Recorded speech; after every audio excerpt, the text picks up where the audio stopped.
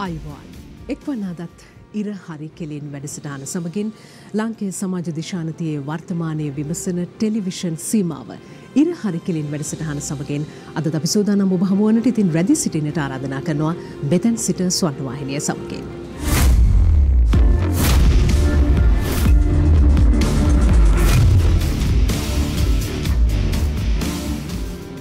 හොඳයි අපි සූදානමද දවසේදීත් කාලීන මාතෘකා කිහිපයක් පිළිබඳවම සාකච්ඡා කරන්නට.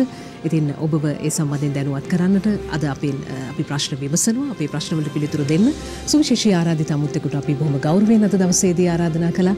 මුලින්ම සූදානම් එතුමන්ව පිළිගන්නට අපේ ඉර හරි කෙලින් වැඩසටහනට.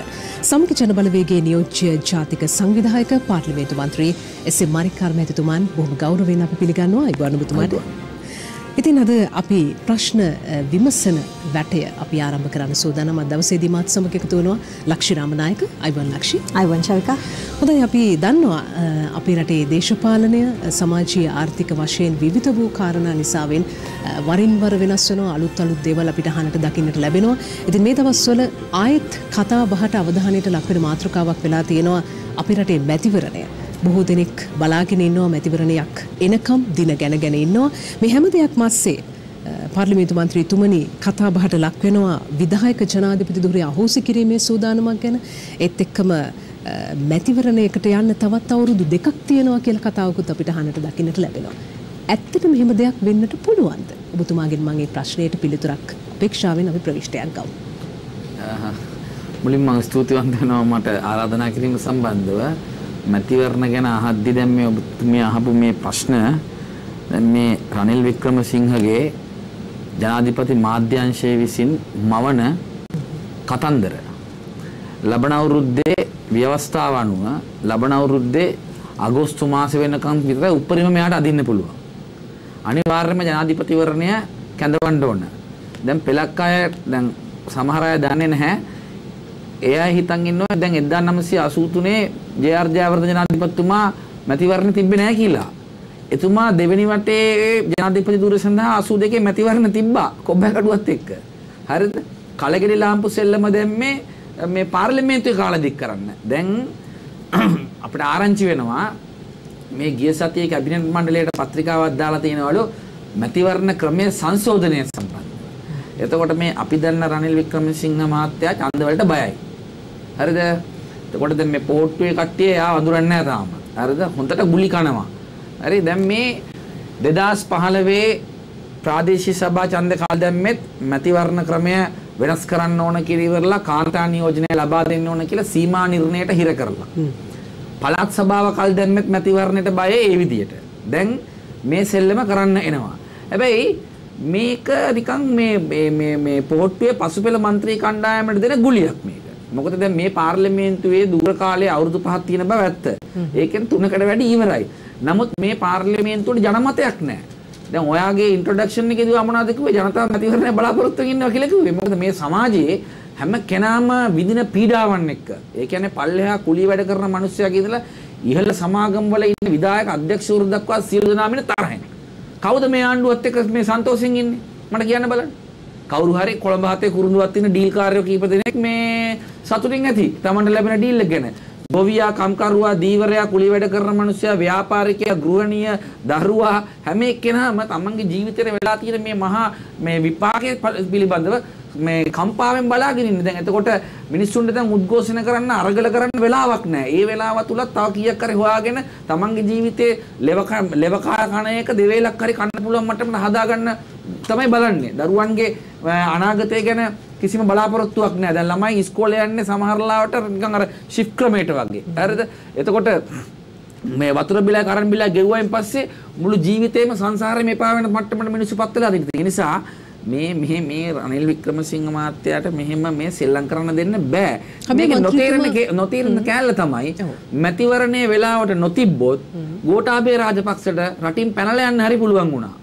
මෙයාට මොනවයිද කියලා මට කියන්න තේරෙන්නේ. ඒ නිසා ඔබතුමා ඔය කියන මැතිවරණ ක්‍රමයේ වෙනසත් එක්ක ලබන වසරේ මේ වගේ කාල සීමාවක් තුලදී ආණ්ඩුව ඒ වගේම ජනාධිපති දුරේ පැහැදිලි වෙනසක් මහ ජනතාවට අපේක්ෂා කරන්න. ලබන අවුරුද්දේ මේ වෙලාව වෙනකොට වෙන ජනාධිපති කෙනෙක් ඉන්නේ. හරිද? රනිල් වික්‍රමසිංහ මහත්තයාට වෝට්ටුවේ අපේක්ෂකත්වය ලැබෙන්නේ නැති බව එතුමා දන්නවා. හරිද? ඒ නිසා පෝට්ටුවේ മന്ത്രിවරුන්ට පසුපෙළ മന്ത്രിවරුන්ට ආධුනික අයට ගුලියක් දීලා තියෙනවා මම අවුරුදු 5 ඉවර වෙනකම් මේව කරන්නේ නැහැ කියලා ඊට පස්සේ මැතිවරණ ක්‍රමය ගැන දාලා තියෙනවා. මැතිවරණ ක්‍රමය වෙනස් කරන්න බෑ. ජනමත විචාරණ ගියත් බෑ. පාර්ලිමේන්තු තුනෙන් දෙක ගන්න ඕන. කවුද තුනෙන් දෙක දෙන්නේ? අපි දෙනවද? අපි දෙන්නේ මුළු විපක්ෂයේම දෙන්නේ එහෙමනම් ජනාධිපති ධූරය අවශ්‍ය කරනවා නම් ඒ වෙලාවම පාර්ලිමේන්තුවට අවශ්‍ය කරන්න ඕන. පාර්ලිමේන්තුවට විසිරුවා හරින්න ඕන. හරිද? ඒ නිසා මේ එතුමගේ ගුලි මේ කට්ටියට තේරෙන්නේ නැහැ. ඉතින් ඒ නිසා මේක දිහා අපි උපේක්ෂාවෙන් බලාගෙන ඉන්න ඕන. මොකද හේතුව මේ අවුරුද්දේ අයවැයෙන් පස්සේ මේ පාර්ලිමේන්තුවට තව දුරටත් ඉදිරියට යන්න හම්බෙන්නේ නැහැ. මොකද හේතුව මේ දේශපාලනයේ තේරෙන ඕන කෙනෙකුට තේරෙනවා මේ එච්චර කල් යන්න හම්බෙන්නේ නැහැ කිලිවරලා. ඒ නිසා තමයි මම හැම වෙලාවෙම කියන්නේ ජනාධිපතිවරණයට පෙර මහමැතිවරණය එනවා. දැන් රනිල් වික්‍රමසිංහ මහත්තයා මොකද්ද කරන්නේ? දැන් ඕගොල්ලෝ දන්නේ නැහනේ. මාධ්‍යවේදීනියන් විදිහට ඕගොල්ලෝ හොයලා බලන්නකෝ මං කියන එක ඇත්තද පැත්තද කියලා. මේ අස්සේ එයාගේ පළවෙනි ඔප්ෂන් එක තමයි පෝට්ටුවේ කොටසක් එතුමා ළඟට අරගෙන බැසිල් රාජපක්ෂවට බලපෑම් කරලා පෝට්ටුවේ අපේක්ෂකත්වය ගැනීම. ඒක වැරදුනොත් එතුමා මේ පැරලල් තව වැඩක් කරගෙන යනවා. UNP එකේ ව්‍යවස්ථාව වෙනස් කරන්න. මොකටද UNP ව්‍යවස්ථාව වෙනස් කරන්නේ? වැරදිලා හරි පෝට්ටුවෙන් අපේක්ෂකත්වය ලැබුණත් එතුමාට දිනන්න බැරි බව එතුමාගේ හිත දන්නවා. හරිද? වැරදිලා හරි පෝට්ටුවෙන් අපේක්ෂකත්වය හම්බෙලා පෙරදුනොත් හෝ එහෙම නොවි එයාගේ කන්ට්‍රෝල් එකෙන් පිට මහමැතිවරණයකට යන්න වුණත් මොකද පාර්ලිමේන්තුවේ බහුතරය අහිමි වෙන ඕන වෙලාවක මැතිවරණයට යන්න සිද්ධ වෙනවා. හරිද? එතකොට එහෙම ගියොත් හරි UNP එකේ ඉන්න කචල් සෙට් එක තමයි ඉන්නේ වර්කින් කොමිටි එකේ. එතනදී කෙලවෙනවා. ඒකේ හින්ද නායකත්ව වෙනස් කිරීමේ බලතල කෘත්‍යාධිකාරී මණ්ඩලයෙන් අරගෙන විධායක සභාවට දාලා ඒකේ ඉන්නේ යාගේ මේ මේ මේ මේ එයාගේ අනසකට මේ යටත්ලා ඉන්න කට්ටිය. දාලා තියන් ඉන්නේ මොකටද? ඒ ඒ වෙලාවෙත් නායකත්වය ආරක්ෂා කරගෙන ඒ මැතිවරණයෙන් UNP එකක් කර ජාතික ලයිස්තුවෙන් එකක් ආවොත් ඒක වේකන් කරලා තියාගෙන ජනාධිපති ධුරය ඉවරණයෙන් පස්සේ ආයේ ලයිස්තුවෙන් පාර්ලිමේන්තුවේ වෙලා ගේමක් ගහන්න පුළුවන් කියලා තමයි මිනිහා හිතන්නේ. ඉතින් ඕක තමයි ඇත්ත. අපේ මන්ත්‍රීතුමා දැන් මහින්දානන්ද අලුත්ගමගේ මහත්මයා අද දවසේදී කියලා තිබුණා මැතිවරණයකට යන්න ඒ කියන්නේ දැන් ඉදිරි අවුරුදු දෙකක කාලය තුලත් ජනාධිපතිතුමාට ඒගොල්ලන්ගේ සහාය ලබා දෙනවා කියලා. එවෙන්නක් වුණොත් මැතිවරණයකට නොගෙහින් ඉන්න පුළුවන් කමක් තියෙනවද? ජනාධිපතිවරණය අනිවාර්යයෙන්ම තියන්න ඕනනේ. දැන් එතුමාට පාර්ලිමේන්තුවේ 113 දිගින් දිගටම තියාගන්න පුළුවන් නම් හරිද? පාර්ලිමේන්තුව මේ මේ 2025 අගෝස්තු මාසෙ වෙනකන් යන්න පුළුවන්. හරිද? ජනාධිපතිවරණය තියන්න වෙනවා. අනිත් එක දැන් මහින්දානන්ද අලුත්ගමගේ දන්නේ නැහනේ පෝට්ටුවේ කී දෙනෙක් අපිත් එක්ක කතා කරනවද? අපේ පැත්තෙන් අපේක්ෂකත්වය ඉල්ලනවනේ.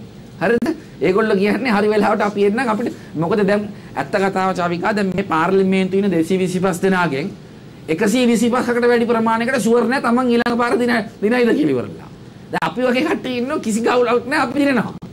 අමාරුම වෙලාවෙත් අපි ආවා අපි දිනනවා අපිට ප්‍රශ්න නැහැ. අපි හෙට ඡාන්දේ තිබ්බත් ඒත් ලෑස්ති. දැන් අර ෂුවර් නැති කට්ටිය හොරගල් අහුලා වෙලා ඉන්නවා. අපිත් එක්ක කතා කරනවා, එකෙක් කණ්ඩායමෙන් කතා කරනවා, ගණන් හදලා බලනවා කොයි පැත්තෙන් දිනන්න පුළුවන් කියලා ඉවරලා. ඉතින් ඒක තමයි මේ ලංකාවේ කුපාඩි දේශපාලන ක්‍රමය. ඇත්ත කතාව. යථාර්ථය කිව්වොත් එහෙම. හරිද? ඉතින් ඒ නිසා මහින්දානන්ද අලුත්ගමගේ දන්නේ නැහැ ඕට්ටුවේ කී දෙනෙක් අපිත් එක්ක කතා කරනවද කියලා ඉවරලා. අපිට පාර්ලිමේන්තුව විසිරුවීම සඳහා ජනතාවට මැතිවරණයක් ලබා දෙන්න මේ ජනතාවගේ පීඩනය පිටිකිරීමේ අවස්ථාව ලබා දීම සඳහා අවශ්‍ය මොහොතේදී මේ අංක අංක ගණිතයේ සෙල්ලම දාන්න වෙනවා. ඒ අතර දැන් මේ විධායක ජනාධිපති ක්‍රමය අහෝසි කිරීමේ සූදානමක් ගැන කියවෙන කතාව ගැන ඔබතුමා මොකද කියන්නේ? පල් බොරුවනේ. පල් බොරුව. වික්‍රමසිංහ මහත්තයා අපි අවුරුදු 20ක් හිටියේ නෑ එක්ක.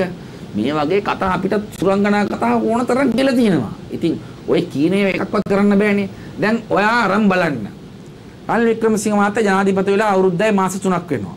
මේ අවුරුද්දයි මාස 3ට විවිධ සතියන්ත වලට තුමා එක එක තැන් වලට යනවා. නූරෙලිට ගිහිල්ලා යමක් කියනවා. තිරිකුණාමලයට ගිහිල්ලා යමක් කියනවා. නුවරට ගිහිල්ලා යමක් කියනවා. හරිද? ඊළඟට මාතරට ගිහිල්ලා යමක් කියනවා. මඩකලපුවට ගිහිල්ලා තව එකක් කියනවා. දැන් මේ අවුරුදු එකමාර එයා කියපු දේවල් තියෙනවනේ. ඒ ටික ඔබතුමා ඔයා ප්‍රවෘත්ති මාධ්‍ය වේදිනියක් විදිහට ඒ කියපු කතා ටික අරන් බලන්නකෝ ඒකක්වත් කරලා තියෙනවද? ඒකක්වත් කරලා තියෙනවද? එයා මේ අවුරුද්ද මාස තුනේ කියපු දේවල් එකක් හරි කරලා තියෙනවද? ඒ නිසා ඕක සුරංගනා කතාවක් විතරයි. ඔබතුමාලා විපක්ෂයක් විදිහට මහජනතාවට සුරංගනා කතා කියන්නේ නැද්ද? මෙහෙමනේ මහජනතාවට සුරංගනා කතා කියන්නේ නැහැ කියලා මට කියන්න බෑ. මම නම් සුරංගනා කතා කියන්නේ මට මොකද මට අනිත් අයගේ වක්කින් බාර ගන්න බෑ. මොකද දැන් මිනිස්සු හරි අප්ඩේටඩ්. හැම කෙනාගේම අතේ ස්මාර්ට්ෆෝන් එකක් තියෙනවා කියන්නේ තමන්ගේ channel එකක් තියෙනවා. එතකොට දැන් මිනිස්සු දැන් රෑ 7-8 වෙනකන් බලන් ඉන්නවද මේ ප්‍රවෘත්ති බලන්න? කලින් දන්න ඕනේ. ඉස්සරනේ අර ප්‍රවෘත්ති වෙලා වෙනකම් වාඩිලා බලන් ඉන්නේ. දේශපාලන වැඩසටහන් කවුරුත් දැන් වාඩිලා බලනවද? ෆෝන් එකෙන් බලන්නේ. හරිද? එතකොට ලෝකයේ පිළිබඳවත් ලංකාව පිළිබඳවත් තොරතුරු පිළිබඳව මිනිස්සු හරි අප්ඩේටඩ්. අපේ සමාජ පරිවර්තනය කොච්චරද කියලා මම ඔයාලට එක උදාහරණයක් දෙන්නම්. 2020ට පෙර අපේ රටේ මිනිස්සු IMF එක දිහා බැලුවේ අපේ රීරි මාංශ උරා බොන්න ඉන්න රීරි යකෙක් වගේ. දැන් IMF කියන ගමේ මේ ත්‍රිවිල් පාකේ ඉන්න මිනිස්සුත් දන්නවා. වැඩි ඕනේ ගෙදර ඉන්න අම්මත් දන්නවා IMF එක නිකන් අප්පු බේරගන්න දෙයියෝ වගේ කියලා. ඒ මට්ටමට සමාජ පරිවර්තන වෙලා තියෙන නිසා සුරංගනා කතා කවර පක්ෂයක් හෝ කවරෙක් හෝ කියයිද එහි ප්‍රතිඵල ඊළඟ මැතිවරණයේදී බලාගත හැකිය. හොඳයි මැතිවරණය සම්බන්ධයෙන් සමගි ජන බලවේගයේ තිබෙන සූදානම කොයි වගේද? හෙට උනත් අපි ලෑස්ති. විශ්වාසයි. අනිවාර්ය විශ්වාසයි ලෑස්ති. ඔබතුමා හිතන්නේ මොන වගේ මැතිවරණයක් එයිද මේ විදිහට මම හිතන්නේ පාර්ලිමේන්තු මැතිවරණ එනවා කියලා. ලබන අවුරුද්දේ මුල් කාර්තයේ පාර්ලිමේන්තු මැතිවරණ එනවා කියලා මගේ මේ දේශපාලන ඇනලයිස් එක අනුව මම ඒක මේ හිතනවා. මේ හැම දෙයක් එක්ක පහුගිය දවස්වල සිදුවුණු සිදුවීමක් එක්ක මේ පක්ෂ මාරු කිරීම කියන එකත් බොහෝ දෙනෙක්ගේ අවධානයට දැන් ලක් වෙලා තිබෙනවා පහුගිය දවසක සිදුවුණු සිදුවීමත් එක්ක දැන්. සමගි ජන බලවේගයටත් මේ ප්‍රශ්නේ බලපාන්නට පුළුවන්. මොකද කීප දෙනෙක් අයින් වෙලා පක්ෂ මාරු කරලා තියෙනවා. ඒ වගේම අනිත් පක්ෂවලටත් මේ ප්‍රශ්නේ බලපාන්නට පුළුවන්. ඔබතුමන්ලගේ මොකද්ද මේ සම්බන්ධයෙන් තියෙන මතය? ඉදිරියේදී මොන වගේ ක්‍රියාමාර්ගයක් ගන්නවද? ශ්‍රේෂ්ඨාධිකරණය ලබා දුන්න තීන්දුව සම්බන්ධව පෞද්ගලිකව මම ඊටාම සතුටටපත් වෙනවා. හරිද? මම ඔබතුමියට උදාහරණයක් දෙන්න. දැන් පොහොට්ටුවෙන් කෙනෙක් පාර්ලිමේන්තුවට එන්නේ පොහොට්ටුවට ඡන්ද දීලා ඒ පොහොට්ටුවේ ඡන්දදායකෙන් මනාපේ. සමගි ජන බලවේගයට කෙනෙක් පාර්ලිමේන්තුවට එන්නේ සමගි ජන බලවේගයට ඡන්ද දී දුන්නු මිනිස්සුන්ගේ මනාපේ. එතකොට ඒ මනාපයට පයින් ගහන්න කාටවත්වත් කිසිදු මේ අයිතියක් නැහැ. මොකද හේතුව දැන් සමගි ජන බලවේගයේ මේ මොහොතේ ඉන්න മന്ത്രിවරු ඔක්කොම ගත්තා. කවුරු හරි දැන් කියන කිව්වොත් එහෙම එයාලා තනියම ස්වාධීන විලල හිටියනම් පරාදයිනේ. පෝට්ටුවෙන් ඔය ඉන්න පාර්ලිමේන්තු මන්ත්‍රීවරු එයාලා තනියම ඉල්ලලා හිටියනම් ස්වාධීන මේ ඉල්ලලා තිබුණ පරාදයිනේ. ඒ නිසා පක්ෂයේ වැරදි තීන්දුව ගන්නව නම් තමාගේ හෘදය සාක්ෂියට අනුව නිහඬව ස්වාධීන වෙලා ඉන්න පුළුවන්. නමුත් ඇමතිකමකට බලපෙරේතකමකට මේ තණ්හාවට වාහනවලට මේ බලය වෙනුවෙන් පක්ෂ මාරු කරනවට හොඳ වැඩේ කියලා තමයි මට කියන්න තියෙන්නේ. හැබැයි එවැනි තීරණයක් එවැනි චේතනාවකින් තොරව රටේ යහපතය යහපත අනාගතය වෙනුවෙන් කිසියම් හෝ පුද්ගලයෙකුට එවැනි තීරණයක් ගන්නට සිදුවනවා නම් ඔබතුමා ඒක කොහොමද දකින්නේ? ඔයා මට කියන්න කවුද එහෙම කරලා තියෙන්නේ කියලා. අපිට දැනට නම් එහෙම වාර්තා වෙන්නේ එහෙම නැහැ. වෙන්නෙත් නැහැ. කවදාත් වෙන්නේ නැහැ. මේ ලංකාවේ අපි ඉන්නේ. හොඳයි සමාජ මාධ්‍ය නියාමනය සම්බන්ධයෙන් විශාල සමාජය තුළ කතිකාවතක් නිර්මාණය වෙලා තියෙනවා. ආණ්ඩුව නියෝජනය කරන අය කියන්නේ සමාජ මාධ්‍ය සමාජ ක්‍රමය වෙනස් කරනවා කියලා. ඒ වගේම අ, විශාල වශයෙන් සමාජ මාධ්‍ය පරිහරණය කරන අයත් ඒක යම් තාක් දුරකට අවභාවිත කරනවා කියලාත් කියනවා. ඔබතුමා මේක දකින්නේ කොහොමද? මේක මේ අපේ පක්ෂයේ මතය නෙමෙයි මගේ පෞද්ගලික මතය. හරිද? සමාජ මාධ්‍ය පාලනය කරන්න බෑ. ඕවම නෙමෙයි ඔයිට වැඩි ලොක්කොත් මේ ලෑස්ති කරා මේ සමාජ මාධ්‍ය පාලනය කරන්න. හරිද? ඔයාලා මට අවසර දෙනවා නම් සමාජ මාධ්‍ය සම්බන්ධව රනිල් වික්‍රමසිංහ මහත්තයාගේ මේ මතය එතුමා ඉස්සර කියපු වීඩියෝ එකක් දාලා පෙන්නන අවසර දෙනවද? හොඳයි ඔබතුමා වගකීම ගන්නවා. අවසරයි. වකීම් මගේ. හ්ම්. වකීම් මගේ මේ මේ එකක් යනවා මාධ්‍ය දාන්න බෑ. ඇයි? මාධ්‍ය මර්ධනය කරනවා. එහෙනම් අද කොහොමද මිනිස්සුන්ට මේක යන්නේ එළියට? මේ රටේ Facebook එකෙන් යන්නේ. වෙන හැම කුපාඩිකම රාජපක්ෂ ජීවේ Facebook එකේ තියෙනවා. දැන් බලනවා Facebook එකත් තානම් කරන්න. දැන් සිංහල පත්තක තුනකම මම මේ කෙටි කෑල්ල කෙටි කෑල්ල දාලා තිනවා. එහෙම තහනම් කරන්න බෑ. මහින්ද මහත්තයත් ඔහොම try කරා. හරිද? මිනිස්සුන්ගේ කට කපන්න පුළුවන්ද? මිනිස්සුන් කට වහන්න පුළුවන්ද? එහෙම කරන්න බෑ. දැන් මේගොල්ලන්ට මේ විදිහට මාධ්‍ය පාලනය කරන්න අවස්ථාවක් ලැබිලා තියෙනවා. ඔව් ඔබතුමීගේ ප්‍රශ්නේ එක කෑල්ලකට මම එකඟ වෙනවා. සමහරක් අය සමාජ මාධ්‍ය භාවිතයේදී Tamanට සොයම් විනයක් නැහැ. සීමා මොකද්ද කියලා දන්නේ නැති නිසා තමයි මේගොල්ලන්ට ඒක දඩමීමා කරගෙන මේ දඩය මේ යන්න අවස්ථාව ලැබෙන්නේ. ඒ නිසා අපි පැහැදිලිව එකක් කියන්න කැමතියි. දැන් මේ විදිහටම දැන් ත්‍රස්ත විරෝධී පනත ගේන්න හැදුවා. සමාජ මාධ්‍ය පනත දැන් ගෙනල්ලා තියෙනවා. විවිධ විවිධ දඩයන් කරන ඒවා ගේන්න හදනවා. ඒ එකක්වත් කරන්න දෙන්න බෑ. මොකද හේතුව දැන් මිනිස්සුන්ට තියෙන නිදහස අඩුම තරමින් මේ දැන් ඔබ ඔබ හෘදය සාක්ෂියට ක- මේ තට්ටු කරලා බලන්න ඔබ ලබන පඩියෙන් ඔබට ජීවත් වෙන්න පුළුවන්ද? ගෙදර ගියාම කොච්චර ප්‍රශ්න වලට මුහුණ දෙන්න තියෙනවද? ඒතර අඩුම තරමින් තමාට ඒ විඳින පීඩාව සමාජ මාධ්‍යයකින් පිට කරන්න තියෙන අවම අවස්ථාවත් අහිමි කරන්න දෙන්න බෑ. හැබැයි දැන් ඔබතුමා දැන් ඔබතුමත් දැන් මීට ටිකට කලින් කිව්වා දැන් මේ මේ සමාජ මාධ්‍ය භාවිතයේදී කිසියම් පිරිසක් ඉන්නවා නියාමනයකට ලක්විය යුතු එවැනි පිරිස නියාමනයකට මේ නැද්ද? තියෙන්නේ මේ ගැනල්ලා තියෙන නියාමනය කරන මේ එවැනි අවභාවිතා කරන නියාමනය කරන එක නෙමෙයි. හරිද? තමාට විරුද්ධ දේශපාලන මතධර්ම සියලු දෙනාම දඩයන් කරන්න. ඒ කියන්නේ අර PTA එක පාවිච්චි කරනවා වගේම තමයි Taman දැන් ඔබ ඔබට මාධ්‍යවේදිනියක් විදිහට නිදහසේ වැඩ කරන්න හම්බෙන්නේ නැහැ. මේක આવොත් එහෙම. හරිද?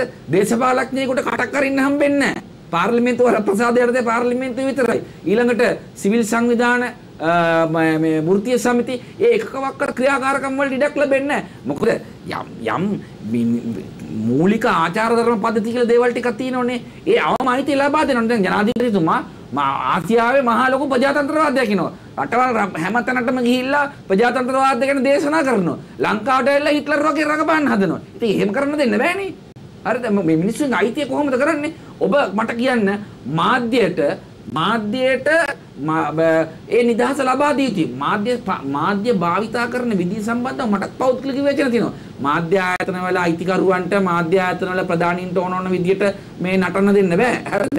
ඒක ඒක වෙනම කතාවක්. නමුත් මාධ්‍ය වේදීන්ට මාධ්‍ය භාවිතය පිළිබඳව ඒ නිදහස ලබා දිය යුතුයි. හරිද? එතකොට දැන් ඒ- මේ ඒ නිදහස සීමා කරන්න උත්සාහ කරනවා කියන්නේ බයයි. තමන් බය නැත්තම් තමන් හරියට වැඩේ කරලා තියෙනවා නම් මිනිස්සු තමන්ව පිළිගන්නව නම් මොකටද බය වෙන්නේ? දැන් මම මේ මේ නාලිකාව හින්දා මම කියන්න කැමති නැහැ. නැත්තම් මම කියන්නම් මේ සමහර නාලිකා මටත් ගහනවා. මම බයද? මම බය නැහැ.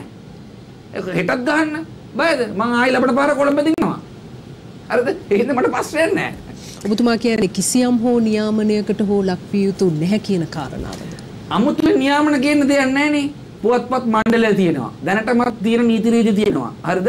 එතකොට දැනටමත් තියෙන නීති රීති වලින් කිසියම් වූ මාධ්‍යවේදියෙක් හෝ මාධ්‍ය ආයතනයක් හෝ වරදක් කරනවා නම් දඬුවම් ලබා දීමේ හැකියාව දැනටත් තියෙනවනේ. දැන් ඔබ දන්නවනේ. මීට අවුරුදු 15කට කලින් එක්තරා මාධ්‍ය ආයතනයකට වැරදිලා ප්‍රවෘත්තියක් කියවුණා. වැරදිලා මම හිතන්නේ ඒක හිතලා කරා කියලා ඉවරලා. වැරදිලා මොකද මේ ඇඳිරි හදිසි නීති ඇඳිරි නීතිය කියලා කියුනේ. හරිද? ඒක මම හිතන්නේ හිතලා. ඉතින් මොකක්ද උනේ කියලා දන්නවනේ. හරි ඉතින් ඒ ප්‍රමාණවත් නීති ඕන තරම් තියෙනවා කවුරු හරි පු- පුරවැසියෙක් හෝ පුද්ගලයෙක් හෝ මාධ්‍යවේදියෙක් හෝ මාධ්‍ය ආයතනයක් හෝ මේ වර්තමාන රටේ නීතිය අවභාවිතා කරනවා නම් ඒ නිසා මාධ්‍ය නිදහස අවභාවිතා කරනවා නම් ආ, මේ එහෙම නැත්නම් අනිත් මිනිසුන්ට අපහාස කරනවා නම් උපහාස කරනවා නම් ඒක පාවිච්චි කරලා දඬුවම් දෙන්න ඕන තරම් තියෙනවනේ දැනට. අනිත් එක ලෝකයේ ඉස්සරහට යනකොට නිදහස වැඩි වෙනවා මිසක් අඩු වෙන්නේ නැහැ නමුත් ආණ්ඩුව ඇතුළු කණ්ඩායම චෝදනා කරන්නේ සමාජ මාධ්‍ය නියාමනය කිරීමේ මුවාවෙන් ඔබ ඇතුළු විපක්ෂ කණ්ඩායම මේ නැවතත් අරගලයක් දියත් කරන්න සූදානම් වෙනවා කියලා. එහි සත්‍යතාවයක් තිබෙනවද? සත්‍යය ඒක නෙමෙයි. සත්‍යය ඇවිල්ලා හොරකම් කරන උන් බයයි. කුපාඩිකම් කරන උන් බයයි. හරිද? නීති විරෝධී බිස්නස් කරන අය බයයි. හරිද? ඊළඟට මේ බලපෙරේතකමින් නොඑක් නොඑක් අපරාධ වැරදි වලට සම්බන්ධලා ඉන්න අය බයයි. දැන් පොට්ටු වැඩි හරියක් ඉන්නේ එහෙම කට්ටියනේ. ඉතින් ඒ කට්ටිය Facebook එකෙන් Tamanට මඩ වදින එකට බයයි. දැන් ම- කවුරුවත් හිතලා දැන් අපි කියමු සමහර මේ පුත්තලම්බුරුව රඟපාන විදිය ගැන මිනිස්සුන්ට අයිතියක් තියෙනවා Facebook එකේ දාන්න. ඉතින් ඒක ඒගොල්ලන්ට අප්සෙට්. ඉතින් එතකොට ඒගොල්ලෝ කියනවා මේක තාඩම් කරන්න ඕන කියලා. ඉතින් එහෙම කරන්න බෑනේ. තේරුණාද? ඉතින් ඒ නිසා තමන් වැරදි කරලා නැත්නම් බය වෙන්න ඕන අනිත් එක මිනිස්සුන්ට ජීවත් වීමේ නිදහස ලබා දීලා තියෙනවා නම් අව හම්බ කරන මුදලින් තුන් වේල කාලා දරුවන්ට උගන්වලා නිදහසේ ජීවත් වෙන එක තමයි මිනිස්සුන්ගේ ආම බලාපොරොත්තුව. ඒ අයිතිය හරියට ලබා දීලා තියෙනවා නම් අරගලයක් එන්නේ නැහනේ. මිනිස්සු ඇයි අරගලයක් ආරම්භ කරේ? මිනිස්සු අරගලයක් ආරම්භ කරේ ගෝඨාභය රාජපක්ෂ පාලන සමය තුල උද්දච්ච ගොබ්බ තීරණ අරගෙන සල්ලි අච්චු ගහලා රට බංකොලොත් කරලා උද්දමනිය එහෙල ගිහිල්ලා නිෂ්පාදනය අඩාල කරලා මිනි- මේ මිනිස්සු මෙරි මෙරි ජීවත් වෙනකොට තමයි මිනිස්සු ආව එළියට. හරිද? මිනිස්සු එහෙම නැතුව නිකන් එළියට එන්නේ නැහනේ. මිනිස්සුන්ට පිස්සුවක් තියෙන්න බෑ එහෙම එන්න නම්. ඉතින් අරගලයක් එන්න පුළුවන් කියලා කවුරු හරි බය වෙනවා නම් ආණ්ඩු පාර්ශවයේ එහෙනම් ඒගොල්ලන්ගේ හෘදය සාක්ෂිය දන්නවා ඒගොල්ලෝ මේ මිනිස්සුන්ව නොමරා මරලා තියනවා කියන එක. මිනිස්සුන්ව ජීවත් කිරීම අයිති නැති කරලා තියනවා කියන එක. තරුණයන්ව අනාගතය විනාශ කරලා තියනවා කියන එක. දරුවන්ගේ අධ්‍යාපනය ලබා ගැනීමේ අයිතිය නැති කරලා තියනවා කියන එක. එතකොට ම- ම- ම- මේ මධ්‍යම පන්තිය දුප්පත් කරලා දුප්පත් පන්තිය දුප්පත් මිනිස්සුන්ව පල්ලෙහා කානුවටම දාලා වටලා තියනවා කියන එක ඒගොල්ලෝගේ හෘදය සාක්ෂිය තුළ දන්න ඉතින් දැන් ඔබ ඔබ දන්නවනේ දැන් ආණ්ඩුවේ മന്ത്രിවරුන්ට ගම්දනම වල යන්න බෑනේ. රැස්වීම් කරන්න පුළුවන්ද? දැන් මීට අවුරුදු 3කට කලින් කොහොම පාට දාගෙන රැස්වීම් කරපු කට්ටියද ඔයනේ? නේද? 2019 කාලේ මට මැවි මැවි පේනවා ජාතිවාදේ ආගම්වාදේ කුලවාදේ ගෝත්‍රවාදේ ගෙනල්ලා මේ රට විනාශ කරලා මිනිස්සුන්ව මුසාවෙන් මුලාවෙන් මෝහණය කරලා මොන තරම් රඟපු කට්ටියද අද බලු වෙලා ඉන්නේ ගමකට යන්න පුළුවන්ද පාරකට යන අද ගම් වතුරක් යන තැනකට පොට්ටුවේ മന്ത്രി කෙනෙකුට යන්න පුළුවන්ද? යන්න බෑ. හරි.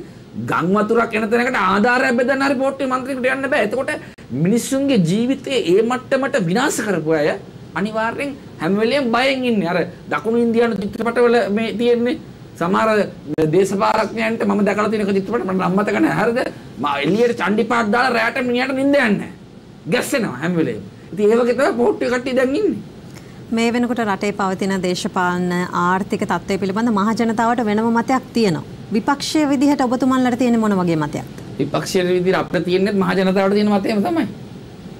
මහ ජනතාවට තියෙන මතය තමයි විපක්ෂයක් විදිහට අපිට තියෙන්නේ. මොකද මහ ජනතාවට හොඳින් කාලා බීලා ළමයින්ට උගන්වලා තරුණයන්ට හෙට දවස ගැන බලාපොරොත්තුවක් සහිතව නිෂ්පාදනය තිය- හොඳට කරනවා නම් විරකියාව අඩු වෙලා තියෙනවනම් විපක්ෂයට කරන්න භූමිකාවක් නැහනේ. හරිද? එතකොට අද මිනිස්සු දැන් ඇත්ත වශයෙන්ම අද ඔබ බලන්න ඉතිහාසයේ අන් කවරදාකටත් වැඩිය අද එක මාතෘකාවක් හෙට තව මාතෘකාවක්.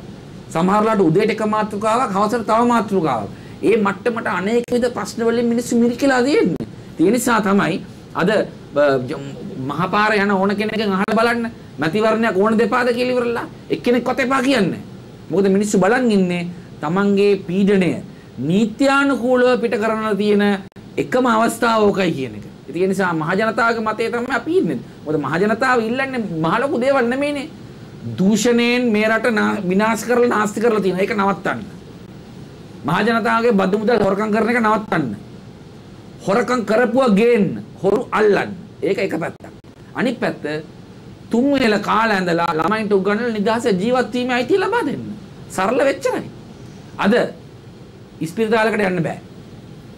මැරෙනවා කියලා බයයි. හරිද?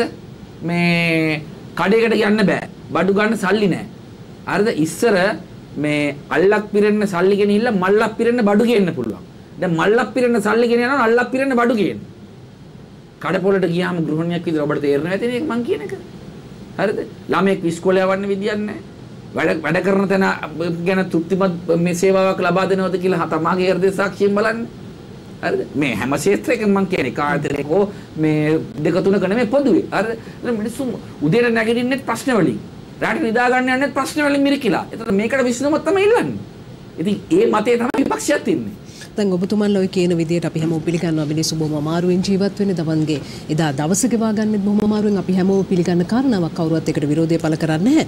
දැන් මේ හැම දෙයක් මැස්සේ දැන් මේ IMF එකේ දෙවෙනි වාරිකය ගැන හැමෝම කතා කරනවා. ඒක ලැබෙයි කියලා කියනවා, නොලැබෙයි කියලා කියනවා. ඒක දෙපැත්තට තියලා ආණ්ඩුවේ විවිධ වූ ප්‍රකාශ කරනවා. දැන් ඔබතුමන්ලා කවදා හරි බලයට ආවොත් බලයට ඉන්න දවසකත් මේ IMF එක අතහරින කතාවක් ඔබලා කියන්නේ ඔබතුමාලත් ඒ මාර්ගයේ යනවා. නමුත් විවිධ වූ අ, ඒ සඳහා සංශෝධන ඉදිරිපත් කිරීමේ හැකියාවක් තියෙන කතාව තමයි ඔබතුමන්ලා කියන්නේ. කොහොමද ඇත්තටම මේ දේවල් කිරීමේ හැකියාවක් තියෙනවද? ඔබතුමන්ලා යම් හේකින් යම් බලයකට ආවොත් ඇත්තට මේක ප්‍රායෝගිකව කරන්න පුළුවන්ද? ජනතාවට කොහොමද එහෙම සහතිකයක් අපි දෙන්නේ? දැන් මෙහෙමයි. අංක 1 ලෝකය තාක්ෂණිකව පරිවර්තනය වෙලා තියෙන විදියත් එක්ක අපිට දූපත් මානසිකත්වයෙන් ඉන්න බෑ. දූපත් මානසිකත්වයෙන් ඉඳලා නෙමෙයි කෙලවගත්තේ. ඒ නිසා ජාත්‍යන්තර ආයතන, ජාත්‍යන්තර සංවිධාන, ජාත්‍යන්තර රටවල් හරිද? ඒවක බද්ධ වෙච්ච ක්‍රමයක් තමයි යන්නේ වෙන්නේ. ඒ නිසා ලිම්බඩි මානසිකත්වයෙන් ගොඩ එන්න බෑ. හරිද? ඒ නිසා IMF එකත් එක්ක අපිට ගනුදෙනු කරන්න සිද්ධ වෙනවා. ආසියානු සංවර්ධනය එක්ක, යුරෝපා හවුල එක්ක, පැරිස් ක්ලබ් එකත් එක්ක අනෙකුත් ප්‍රධාන රටවල් එක්ක අපිට ගනුදෙනු කරන්න සිද්ධ වෙනවා. ඒක ඇත්ත. මේ IMF එක කියන එකේ මහ ලොකු රොකට් සයන්ස් එකක් නැහැ. හරිද? IMF එක කියන කියන පදේට නටන්න ඕනේ නැහැ. ඒ කියන්නේ IMF එකත් එක්ක තරහ වෙනවා කියන එක නෙමෙයි. IMF එක බලන්නේ මෙච්චරයි. උදාහරණයකින් මම කියන්නම්. ඔයා යනවා බැංකුවට. ලක්ෂ 10ක ලෝන් එකක් ඉල්ලනවා. වාරිකේ අපි කියමු උදාහරණ රුපියල් 25000යි කියලා. එතකොට බැංකුව බලන්නේ වාට ගෙවීමේ හැකියාව තියෙනවද කියලා. ඒක එක රස්සාවක් කරලාද, රස්සාවල් දෙකක් කරලාද, එහෙම නැත්නම් අම්මා අප්පගෙන් ආපු බුදල් වලින් එන අතිරේක ආදායම් මාර්ග වලින්ද, එහෙම නැත්නම් වෙනත් වෙනත් මේ ආදායම් මාර්ග වලින් හරි එයා ගෙවීමේ හැකියාව පෙන්නනවා නම් විතරයි බැංකුව ණය දෙන්නේ. එතකොට IMF එක බලන්නේ අපි අරන් තියෙන ණය මුදල් වලට අපේ වාරික ගෙවීමේ හැකියාව මොකක්ද කියන එක. ඒක බදු ආදායම වෙන්න පුළුවන්, රේගු ආදායම වෙන්න පුළුවන්, එහෙම නැත්නම් හවුල් ව්‍යාපාර වෙන්න පුළුවන්, එහෙම නැත්නම් අපනයන ආදායම වෙන්න පුළුවන්, එහෙම නැත්නම් අලුත් ආදායම් මාර්ග වැඩි කිරීමෙන් වෙන්න පුළුවන්. එතකොට මෙතන ප්‍රශ්නේ තියෙන්නේ මේගොල්ලෝ බිල් වැඩි කරලා බදු ගන්න එක විතරයි කරන්නේ. ඒකෙන් තමයි ආදායම වැඩි කරගන්නේ. අන්න එතනයි ප්‍රශ්නේ තියෙන්නේ. මිනිස්සු මිරිකිලා ඉන්නේ ඒකට. එතකොට IMF එක කියලා නෑ මේ මේ මේක අනිවාර්යෙන් මෙහෙම කරන්න කියලා, හරක කරන්න කියලා. IMF එකට ගිහිල්ලා අපිට කියන්න පුළුවන් නම් අපේ වාරික මෙන්න මෙච්චරයි තියෙන්නේ ගෙවන්න. ඒ ගෙවන වාරික වල මෙන්න අපි හම්බ කරන විදිය මේකයි කියලා ඉවරලා මේ IMF එකට පිළිගන්න සිද්ධ වෙනවා. ඒ කියන්නේ ඒ වගේ සංශෝධන වලට ඒගොල්ලෝ සූදානම්. එකඟ වෙන්න වෙනවනේ. අපි ගෙවීමේ හැකියාව වෙන දැන් වෙලා තියෙන්නේ කිසිදු අලුත් ආදායම් මාර්ගෙන කිසිදු දෙයක් කරලා නැහැ. එහෙම කරන්න මුල් ම- මේ අඩුම ගානේ පියවරක්වත් අරගෙන නැහැ. ඒ නැති නිසා තමයි ආදායම් වැඩි කරගන්න ජනතාවගේ රීරි මාංශ උරා බොමින් මේ බිල් සහ බදු වැඩි කරලා තියෙන්නේ. දැන් මම ඔබතුමීට උදාහරණයක් කියන්නම්. අල්ලපු රටේ ඉන්දියාව තොරතුරු තාක්ෂණයෙන් අවුරුද්ද ඩොලර් බිලියන 130ක් හොයනවා. සෞදි අරාබිය තෙල් වලින් හොයන්නේ අවුරුද්ද ඩොලර් බිලියන 130යි. එතකොට ඉන්දියාවට තෙල් නැහැ. ඉන්දියාව ඒකට අලුත් මාර්ගයක් හොයාගත්තේ තොරතුරු තාක්ෂණය. එතකොට අපි මොනවද කරලා තියෙන්නේ? මොකුත් කරලා නැහැ. දැන් 1989 දී රණසිංහ ප්‍රේමදාස ජනාධිපතිතුමා ඇඟලුම් අපනයනය කියලා අලුත් අපනයන ආදායම් මාර්ගයක් ආරම්භ කරපු නිසා තමයි අදටත් ඩොලර් බිලියන 13ක විතර ආදායම් මාර්ග අපිට එන්නේ. හරිද? එතකොට ඒ වහින් තමයි තෙල් ගේන්නේ, බෙහෙත් ගේන්නේ, මේ කෑම ගේන්නේ. එතකොට දැන් ලෝකේ අලුත් වෙළඳ පොළවල් නිර්මාණය වෙලා තියෙනවා. අපි හුරු- පුරුදු වෙලා තියෙන්නේ අපේ මේ තේපොල් රබර් හරිද? කෘෂි අපනයන ආදායම ඩොලර් බිලියන දෙකයි එන්නේ අවුරුද්දකට. ඊළඟට විදේශ ශ්‍රමිකයින්ගෙන් එන ආදායම. ඊළඟට සංචාරක කර්මාන්තයෙන් එන ආදායම සහ මේ ඇඟලුම් අපනයනෙන් එන ආදායම. ඊට අමතරව ලෝකේ මූල්‍ය වෙළඳ පොළවල් බිහි වෙලා තියෙනවා. දැන් ඔය වික්‍රමසිංහ ජනාධිපතිතුමා හීන දකින්නවා. එක එක ඉනිෂියේටිව් එකක් කරලා තියෙනවද? තොරතුරු තාක්ෂණ වෙළඳ පොළ. ඔබේ මේ ආයතන තියෙන එහා පැත්තේ බිල්ඩින් එකනේ වර්චුස් එක තියෙන්නේ. හරිද? ඔබ- ඔබ අද මෙතන ගන්න පඩියයි එතන වැඩ කරන අය ගන්න පඩිය අතර වෙනස පේනවනේ. හරිද? ඒතර අපි මේ වෙළඳ පොළවල් වලට අපි ඇතුළත් වෙලා නැහැ. අවම වශයෙන් ඒකට අවශ්‍ය මූලික පීවරන් අරගෙන නැහැ. මම ඔබට උදාහරණයක් කියන්නම්. මේ කොළඹ නගරයේ කොළඹ 115 තියෙනවා අක්කර 902ක භූමියක්. ඒ අක්කර 902 තියෙනවා ගෙවල් අඩු ආදායම්ලාභී අ, බ- අ, මේ පැල්පත් නිවාස තියෙනවා 68700 ගණන්. හරිද? එතකොට මේ ඇයට ඔප්පු නැහැ. එතකොට දැන් මේ වගේ ආර්ථික මර්මස්ථානයක මේ වගේ පැල්පත් නිවාසය තියාගන්න ඕනද? ඒ මිනිස්සුන්ටත් මේ කිසි මේකක් නැහැ. මොකද හේතුව ඔප්පු නැති නිසා තාත්තා ත්‍රිවිල් ලවොත් පුතා ත්‍රිවිල් ලවන්න ඕන. අම්මා ස්වයන් රැකියා කරුවොත් දුව ස්වයන් රැකියා කරන්න ඕන. හරිද? ඒතකොට මේවා නැවත සමාලෝචනය කරන්න ඕන. මේ අක්කර 902 කියලා කියන්නේ ඒ 68000ටම ඔප්පු සහිත නිවාස ලබා දෙමින් තව ඩොලර් බිලියන ගානක ආදායම් උනන තැනක් බවට පත් කරන්න පුළුවන්. ඒ වගේම ඒ ආ- ආදායම එන එක එකපාරක්. ඊට පස්සේ ඒක තුලින් සිදුවන අ, මූල්‍ය නිෂ්පාදනය වෙන පුළුවන් තොරතුරු ක- නිෂ්පාදනය වෙන පුළුවන් ඒ රීඑක්ස්පෝර්ට් කිරීම හරහා එන ආදායම. ඒතර ඉන්නේ එවැනි අලුත් වෙළඳ පොළවල් දිහා අපි බලන්න ඕන. එහෙම නොවුනොත් බදු ගැහිල්ලයි විකිණිල්ලයි බිල් බිල් වැඩි කිරිල්ලයි විතරයි කරන්න වෙන්නේ. ඒ නිසා දැන් මිනිස්සු මිරිකිලා තියෙන පීඩනයෙන් අනුව අ- අනිවාර්යෙන් මේ යම් මට්ටමක සහනයක් ලබා දිය යුතුයි මේ බදු වලට සහ බිල් වලට. ඒක අපි කියන්නේ මේ නිකම් දෙන්න ඕන කියලා ඉවරලා. අපි අර ඔක්කොම හරම කරනවා මෙහෙම කරනවා. මොකද රජයකට ආදායම තියෙනවා. දැන් මූලික සිද්ධාන්තය ගෝඨාභය රාජපක්ෂ ජනාධිපති වුණාම රාජ්‍ය බදු ආදායම කුඩු කරලා විනාශ කරලා දැම්ම ගජමිතුරන්ට දොළ පිටින දීලා. එතනනේ මේ කඩාවැටීමේ ආරම්භය. නිසා රජයකට බදු ආදායම තියෙන්න ඕන. දැන් උදාහරණයකට 2019 මංගල සමරවීර මුදල් ඇමතිවරයා හැටියට ගෙනාපු එකට කවුරුත් විරුද්ධ වුණේ නැහැ. අර එවැනි ජනතාවට දරා ගැනීමේ හැකියාවක් තියෙන මට්ටම එකක් ගේන්න ඕන. එතකොට එතනින් අපේක්ෂිත ආදායම එන්නේ නැති- එන්නේ නැතිකොට රජය රෙගියුලේටර් වෙලා අලුත් වෙළඳ පොළවල් තුලට රට ඇතුල් කරවන්න ඕන. ඒ ආදායම් මාර්ග ගරන්ටීඩ් න IMF එකට පිළිගන්න IMF එකට පිළිගන්න වෙනවා. හොඳයි ඔබතුමා පැහැදිලි කරපු කාරණාත් එක්ක අපිට තේරෙනවා ණයබරතාවේ වැඩි ණයබරතාවේ බිලියන 96.5ක් පමණ ඉක්මවා ගිහිල්ලා තියෙනවා. පොඩි කෑල්ලක් දෙන්න. ණයබරතාව කොච්චර වැඩිද කියනවනම් රනිල් වික්‍රමසිංහ මහත්මයා ජනාධිපති ධූර කාලයේ ඉන්නකොට හරිද ණයබරතාව කොච්චරකින් වැඩි වෙලා කියලා ඔබතුමිය දන්නවද? කියලා බලන්න. මට ඒ ගැන අදහසක්. ඩොලර් බිලියන 13මාරකින් වැඩි වෙලා තියෙනවා. බොන්ඩ් ඉෂුව කරලා ඉෂුව කරලා ඉෂුව කරලා ඉෂුව කරලා හරිද? ඩොලර් බිලියන 13කින් වැඩි වෙලා තියෙනවා. ණයබරතාවේ.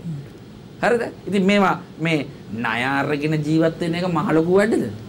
අන්තිමට වෙන්නේ මොකක්ද දන්නවද? ගම් මේ පොලි මුදලාලි ගාවට ගිහින් ඉවරලා ගේ සින්න වෙලා පාර බහින්න වෙන තත්ත්ව තමයි දැන් සිද්ධ වෙමින් පවතින්නේ. අපි නොදැනුවත්වම අර්බුදය භයානකයි ඉස්සරහට. එච්චරයි මං කියන්නේ. මන්ත්‍රීතුමනි දැන් ජනතාවට තියෙන ප්‍රශ්න තමයි දැන් ඔබතුමා බොහොම සාධනීය අ, ප්‍රවේශ ටිකක් ජනතාවට පෙන්වුවා මෙන්න මේ මාර්ග ඔස්සේ අපේ රටේ නිෂ්පාදන ආර්ථිකය වැඩි කරගන්නට පුළුවන් මේ බදු වලින් සංචාරක කර්මාන්තය මේ ඇඟලුම් ක්ෂේත්‍ර වලින් මේ දේවල් වලින් විතරක් නෙමෙයි මෙන්න මේ දේවල් කරන්නට පුළුවන් කියලා බොහෝ අපසරයක් ඔබතුමා අපිට පෙන්නනවා. නමුත් වැඩේ තියෙන්නේ ජනතාවට තියෙන ප්‍රශ්නේ තමයි අවුරුදු 70 ගානක අපේ දේශපාලන ඉතිහාසය බැලුවම විවිධ වූ පක්ෂ පාට ભેද ඇවිල්ලා මේ මේ හැමෝම වගේ බලයට ඇවිල්ලා හිටිය නමුත් ඔවුන්ට පෙනෙන්නට යමක් ප්‍රායෝගිකව ක්‍රියාවෙන් පෙනෙන්නට අලුත් යමක් උනේ නැහැ. ඉතින් දැන් ඔබතුමාලගේ පක්ෂය ඉදිරියේදී මෙවැනි අලුත් දෙයක් කරයි කියන විශ්වාසය ජන ජනතාවට කොහොමද ඔබතුමාලා දෙන්නේ? ඔබතුමියගේ ප්‍රශ්නෙත් එක්ක මම එකඟ නැහැ මම විරුද්ධයි. හරිද? ජනප්‍රිය තේමා දෙකක් තියෙනවනේ. 225 මෙපා කියලා ඉවරලා. එහෙනම් අනුර කුමාරත්ව 225 තමයි ඉන්නේ. උදාහරණයකට. 225 මෙපා කියලා කවුරුත් කියන්නේ. දැන් අපි මම හරි උත්තර දෙන්නම්. දැන් මාව එපා කියලා කොළඹ ජනතාව කියනවද? නෑ. හෙට යන්න තිබ්බත් මන් දිනනවා. 225 එපා කියලා කියන්නේ පොඩි දේශපාලන කණ්ඩායමක් ඉන්නවා මහජන ඡන්දකින් බලයට පත් වෙන බැරි කට්ටිය. ඒගොල්ලෝ තමයි 225 එපා කියන්නේ. කට උල් කර කර බොරු කියන කට්ටියක් ඉන්නවනේ. කයිය නායකලා. ඒගොල්ලෝ තමයි 74 කතාව කියන්නේ. දැන් මේ 74 වෙච්ච දේවල් ටික මම කියන්නම් පොඩ මට විනාඩි දෙකක් දෙන්න. හරිද? මහ පොළාවේ කොයි කාලෙද? උදාගම් ව්‍යාපාරය ආවේ කොයි කාලෙද? ඈ එතකොට මේ නිවාස දසලක්ෂය ආවේ කොයි කාලෙද? රන්දනිගල වික්ටෝරියා ආවේ කොයි කාලෙද? යුද්ධය ආරම්භ වුණත් යුද්ධය ඉවරුනෙත් කොයි කාලෙද? මේ 74 තමයි මට එහෙම පොලිමක් කියාගෙන යන්න පුළුවන්. ගල්ලේ ව්‍යාපාර වෙන්න පුළුවන්, නිදාස් අධ්‍යාපනය වෙන්න පුළුවන්. මේ සියල්ල උනේ 74 තමයි. 74 නොකරිච්ච දේවලුත් තියෙනවා. හරිද? ඔය 74 තමයි චන්ද්‍රිකායක එකතු වෙලා වැව්දාහක් හදනවා කියලා බොරු කිව්වේ. මතකද? සුනාමි හොරා කියලා කාඩ් වැදුනේ පස්සේ රාජපක්ෂලා බලයටපත් කරෙව්වෙත් මේ ඔය 74 ඇතුළත තමයි. හරිද? ඔය 74 ඇතුළත තමයි වක්‍රාකාරව සිරිසේන කියන පුද්ගලයෙක් අ, මේ ජනාධිපති කරවලා FCID කියලා දේවල් දාලා මේ ව්‍යාපාරික පන්තියෙන් මේ සම්පූර්ණ පරිගැනීම් කරත් ඔය 74 තමයි. ඔය 74 තමයි මේ කම්පැනි වලින් පගා ගත්තේ, කප්පම් ගත්තේ. මේ මොනාෂ් වගේ විශ්වවිද්‍යාල ලංකාව තුලට ආවම එළෙව්වේ වෘත්තීය සමිති කරලා මේ ෆැක්ටරි වලින් කප්පම් අරගෙන ආයෝජක රට යවුවෙත් ওই කාලේ තමයි. ඉතින් ඒ නිසා මම මම එක දෙයක් කියන්නම්. මේ 74 ඇතුළත බොහෝ දේවල් කරලා තියෙනවා. නමුත් මේ අන්තිම අවුරුදු ද- මේ 15ක 20ක කාලයක තුල විශාල වශයෙන් හොරකම් වැඩි වෙලා තියෙනවා. දූෂණය වැඩි වෙලා තියෙනවා. ඒ නිසා ජනතාවගේ විශ්වාසනීයභාවය සම්පූර්ණයෙන්ම ඉවර වෙලා තියෙනවා. මේක පාවිච්චි කරගෙන හරිද? මේක පාවිච්චි කරලා මේ බුරු මාතෘකා හදලා අර මේ මේ පඹේක්ව වීරයෙක් කරලා ගෙනාවේ 2019 දී. පඹේක්ව වීරයෙක් කරලා ගෙනාවනේ. හරිද? ඒ ඒ වගේ ඒ වගේ නිකම්ම නිකන් රූකඩ චරිතයක්ව වීරයෙක් කරන්න හදන කතාවක් ඕක. ඉතින් ඒ නිසා මම කියන්නේ ජාත්‍යන්තරයේ එක්ක සම්බන්ධකම් තියෙන. ජාත්‍යන්තරයේ එක්ක ගනුදෙනු කරන්න පුළුවන් කණ්ඩායම් ඉන්න ඕන. මොකද වෙළඳ දැන් උදාහරණයකට දැන් අද මේ වාහන හැර සියලු ආනයනයන් අරලා තියෙනවනේ. මම නම් කියන්නේ හොඳයි කියලා. මොකද හේතුව ලෝකයා එක්ක අපි ගන- අපේ බඩු ගන්නයි ඒගොල්ලන්ගේ බඩු අපි නොගෙන ඉන්න එහෙම කරන්න බෑනේ. ඒක ගනු දෙනුවක්. මොකද මන් දන්න තරමට රජයට සමහර රටවල් දැනටම තර්ජනය කරලා තියෙනවා මේ එහෙනම් ඕගොල්ලෝගේව ගන්න නැහැ කියලා. එතකොට මේ ජාත්‍යන්තරයක ගනුදෙනු කරන්න පුළුවන්. මං අහන්නේ ඔය 74 ගැන කී කී කෑ ගහන කට්ටිය IMF එකත් එක්ක ගනුදෙනු කරන්න පුළුවන්ද? ලෝක බැංකුවත් එක්ක ගනුදෙනු කරන්න පුළුවන්ද? පාර්ලිමේන්තු මැතිවරණය ආවම බලන්න ඔය කය ගහන කට්ටිය ටීම් එකේ ඉන්නේ කවුද කියලා ඉවරලා. ඒ නිසා නිර්මාණශීලී කණ්ඩායමක් ඕන, දක්ෂ කණ්ඩායමක් ඕන, ගට තියෙන කණ්ඩායමක් ඕන, ආත්ම ශක්තිය තියෙන කණ්ඩායමක් ඕන ලෝකෙක ගනුදෙනු කරන්න පුළුවන්. එහෙම නැතුව මේක කරන්න බෑ. ඒ නිසා මේ කරන්න බැහැ කියලා දේවල් නැහැ. පුළුවන් නම් කරන්න මම ඔබතුමීට එකම එක උදාහරණයක් කියන්නම්. 2016 මගේ ආසනය කොළොන්නාවේ ආව ගම් වතුර. පවුල් 27000 කන අසරණ වුණා. වන්දිම විතරක් ගෙව්වා රුපියල් මිලියන 2300ක්. මම ඊට පස්සේ ඒකට අග්‍රාමාත්‍ය රනිල් වික්‍රමසිංහ මහත්තයා කිව්ලා මං කිව්වා සර් මේ වැඩේ කරන්න බෑ හැමදාම. මිනිස්සු දුක් විඳිනවා. වන්දිත් ගෙවනවා. මහ ජනතාවගේ බදු මුදලුත් නාස්ති වෙනවා. බත් පැකට් බෙදනවා අරව මේව කරන්න ඕන කියලා. ඊට පස්සේ අපි ව්‍යාපෘතයක් අද කොළොන්නාවේ ගම් වතුර එනවද? බලන්නකෝ ගිහින් ඔක්කොම මැල මාර්ග ටික ගේටු ටික හදලා එකම එක තමයි ඉතුරුලා තියෙන්නේ මම අද උදේත් ගියා එතෙන්ට හරිද? ඒකත් මම තව මාස 6ක් තිබිලා තිබ්බනම් කරනවා. එතකොට දැන් බලන්නකෝ මේ ඔබගේ කාර්යාලය හැ පැත්තේ ලෝ ලෙවල් පාර හැදෙන විදිය. මම සල්ලි ගෙනාවේ. ඔපෙක් රටවල් වලින් රුපියල් මිලියන 3500ක් මේ ආධාර කුවේට් ආණ්ඩුවේ මිලියන 400ක් ආධාර මුළු කොළඹ නගරයටමයි කොළොන්නාට වතුර දෙන්න රුපියල් මිලියන 6500ක් ඔස්ට්‍රියන් රජයෙන් 10%ක් මේ මේ මේ ග්‍රාන්ට් එකක ඉතුරු එක සොෆ්ට් ලෝන් එකක විදිහට. ඌමනාව තියෙනවනම් කරන්න පුළුවන්. ඒකට ආත්ම ශක්තිය තියෙන්න ඕන සැලැස්මක් තියෙන්න ඕන කැපවීම තියෙන්න ඕන ජාත්‍යන්තර සබඳතා තියෙන්න ඕන. එහෙම නැතුව පාළු ගෙලේ වළම් බිඳලා කරන්න බෑ. කැට එකතු කරලා රටවල් හදන්න බෑනේ. පිට රට ඉන්න මිනිස්සු ඩොලර් පහ පහ එවන්න කියලා රටවල් හදන්න බෑ. හරිද? ඒ නිසා මේ රට හැදීමේ ප්‍රධාන මාර්ගය ණය ගන්න එක සීමා කරන්න ඕන. අලුත් ආදායම් මාර්ග බිහි කරන්න ඕන. අපේ හැකියාවන් නිපුණතාවයන් කොයි පැත්තෙන්ද දි- වැඩි දියුණු කරන්න පුළුවන් කියන එක බලන්න ඕන. ඒ මේ ආනයනය පාලනය කරන්න ඕන නිකන් අපි ආනයනය පාලනය කරනවා කියලා නෙමෙයි. අපේ නිෂ්පාදන වැඩි කරමින්. ඒ නිෂ්පාදන වලට රුකුල් දෙමින් තමයි ආනයන දැන් බලන්න අද කිරිසම්බ කිලෝවක් හොයාගන්න බැරි ආණ්ඩුවක් නෙමේ මේක. කිරිසම්බ කිලෝවක් හොයාගන්න බැරි ආණ්ඩුවක් මේක. අද බ්ලැක් මාකට් එකේ කිරිසම්බ විකිරෙනවා රුපියල් 290ට හරිද? එතකොට දැන් මේගොල්ලන්ට ඔක්කොම මොකද්ද? දැන් බිත්තර නිෂ්පාදකයින්ට කුකුල් කෑම ගේන දුන්නා නම් වැඩ ඉවරයිනේ. ඒ මිනිසුත් එක්ක ගහගෙන බිත්තර ගේන රටින් දැන් හෙට අනිතන හාලුත් ගෙනේ රටේ ඉඳලා. හරිද? මොන මොන ගොබ්බ ආණ්ඩුවක්ද මේක? කල්ප සම්මනල වැවේ වතුර තියෙනකොට. හරිද? ප්‍රමුඛතාවයේ විදුලියද නිෂ්පාදනයේද? ඕන ඕන කෙනෙකුට තේරෙනවා. හරිද? කන්න තියෙනවා නම් අඳුර හරි ඉන්න පුළුවන්. අඳුර ඉඳන් බඩගිනින් ඉන්න බෑනේ. ඉතින් එහෙම තීරණ ගන්න බැරි කට්ටියක්. ඉතින් ඒ නිසා ආත්ම ශක්තිය තියෙනවා හොඳයි මං හිතන්නේ විසඳා ගන්නට බොහෝ ප්‍රශ්න තියෙනවා අපේ රටට අපේ ජනතාවට රටේ අනාගතයේ යහපත වෙනුවෙන් අපි සූදානම් වෙන්නේ ඉර හරි කෙලින් වැඩසටහනෙන් කෙටි විරාමයක් ලබා ගන්න.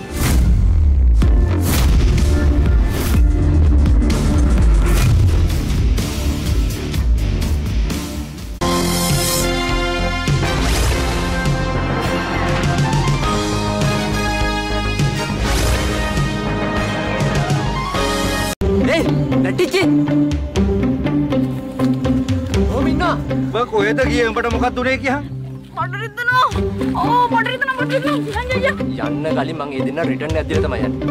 මොකද්ද? ආත්‍යා මාව කවුද කියලා හරියට තාම අඳුරන්නේ නැහැ. ඒ කියන්නේ සර් මේ ඒකත් මේ මන්ද කරන්න ඕන? ඔය ඉතින් වරුණ මිස් කිව්වනේ. මං ගන්න ඕනම තීරණයකට කැමතියි. ඔයා කියන්නේ බොරු. ඔයාත් හරියට නිකන් ඔයාගේ අම්මා වගේම නපුරු කෙනෙක්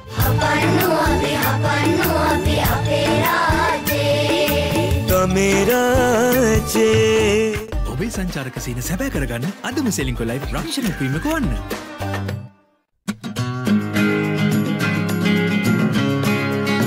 ඇස්ට්‍රත් එක්ක තෑගි දෙනමු අලුතින් මෙලදී ගන්න ඕනෑම ඇස්ට්‍රාට් හබ් එකක කාණ්ඩංකය අද මෙස්සමිස් කරන්න.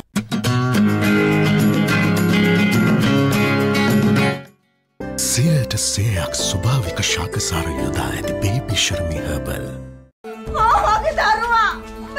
මගේ දරුවා රංගී කියපන් කොහෙද ගිහින්නේ එනා මූ මීට පස්සේ මගේ ඇස් දෙකට මුලිත් ගන්න එපා. බහින්න කිව්ව තොට්ට කෝබා හිටියද? ඒ පැත්ත බලාදවත් නෑ බ මොකක් හරි කේසයක් තියෙනවා. මිස්ටර් සෙනල් මට මගේ නංගි ඕනේ. හොයන්න නැතුව කොහමද බන් දෙන්නේ? අම්මුතු මට සලරියකුත් ඕනි හරිද? මට දෙනවා නේද පටිය පඩියක් දෙනවා යාර වීඩියෝ එකක් පහ දුන්නොත්. ඕ මිනිමුතු. මිනිමුතුව තවසට ඕනේ. කෝලම් කුට්ටම. හෙට රාත්‍රී නවයයි තිහට. අනුග්‍රහය. නියම පැහැය සමගේන පැරිෂුට් කොකන ටයිල්. පිළිතුරු සත්තයි කාගෙත් ස්කැච් වෙන ඔයාටම මැච් වෙන බිලස්මා කස්තුරිකයා බොඩිලෝෂන් මරගන්න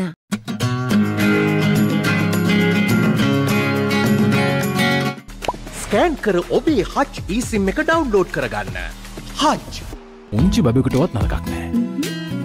බයිවන දෙයක් නෑ මැඩ සර්ග තේරීම හරියට මහරි. ජපානයේ ප්‍රමුඛතම තීන්ත දැන් එස්ලෝන් නිවසින්. කන්සයි එස්ලෝන් ලෙඩ නැති තීන්ත.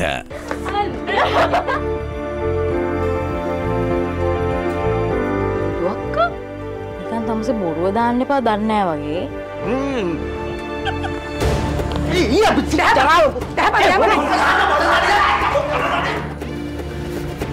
සීදේවි අද ඉඳලා ඔයාගේ නම කොණ්ඩ සුද්දි හරිද ඇයි කොඩ සුද්දි කියල්දා ඒකි චූටියගේ ලව්වගෙන කවුද චූටිය කිය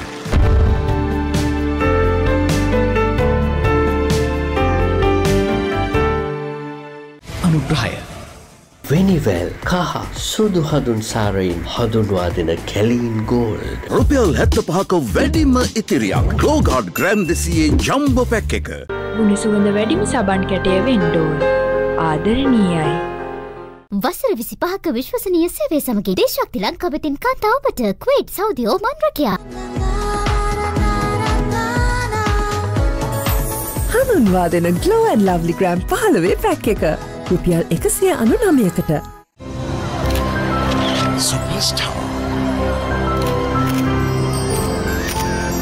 He's back.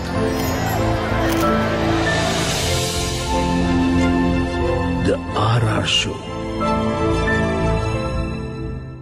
Harpic ශ්‍රී ලංකාවේ අංකයකේ වැසිකිලි පිරිසිදුකාරක දීරය මිල අඩු කලා මිලිලිටර් පන්සියේ හාපික් බෝතලයක් දැන් රුපියල් තුන්සිය අනු නමයක් පමණයි.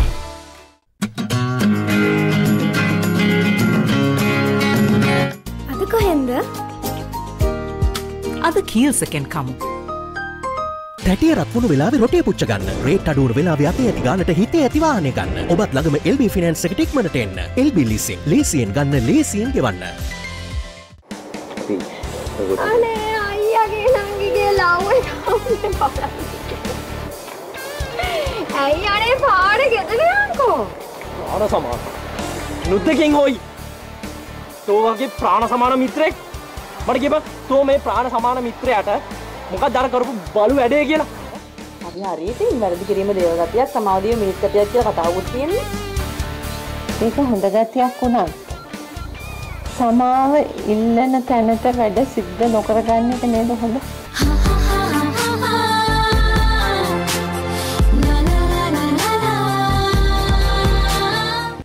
අනුග්‍රහය දැන් ඇය ඩ්‍රයිටෙක්ස් රුපියල් එකසේ පණහක් විතරයි ඔය ට්‍රයි කරල බලන්න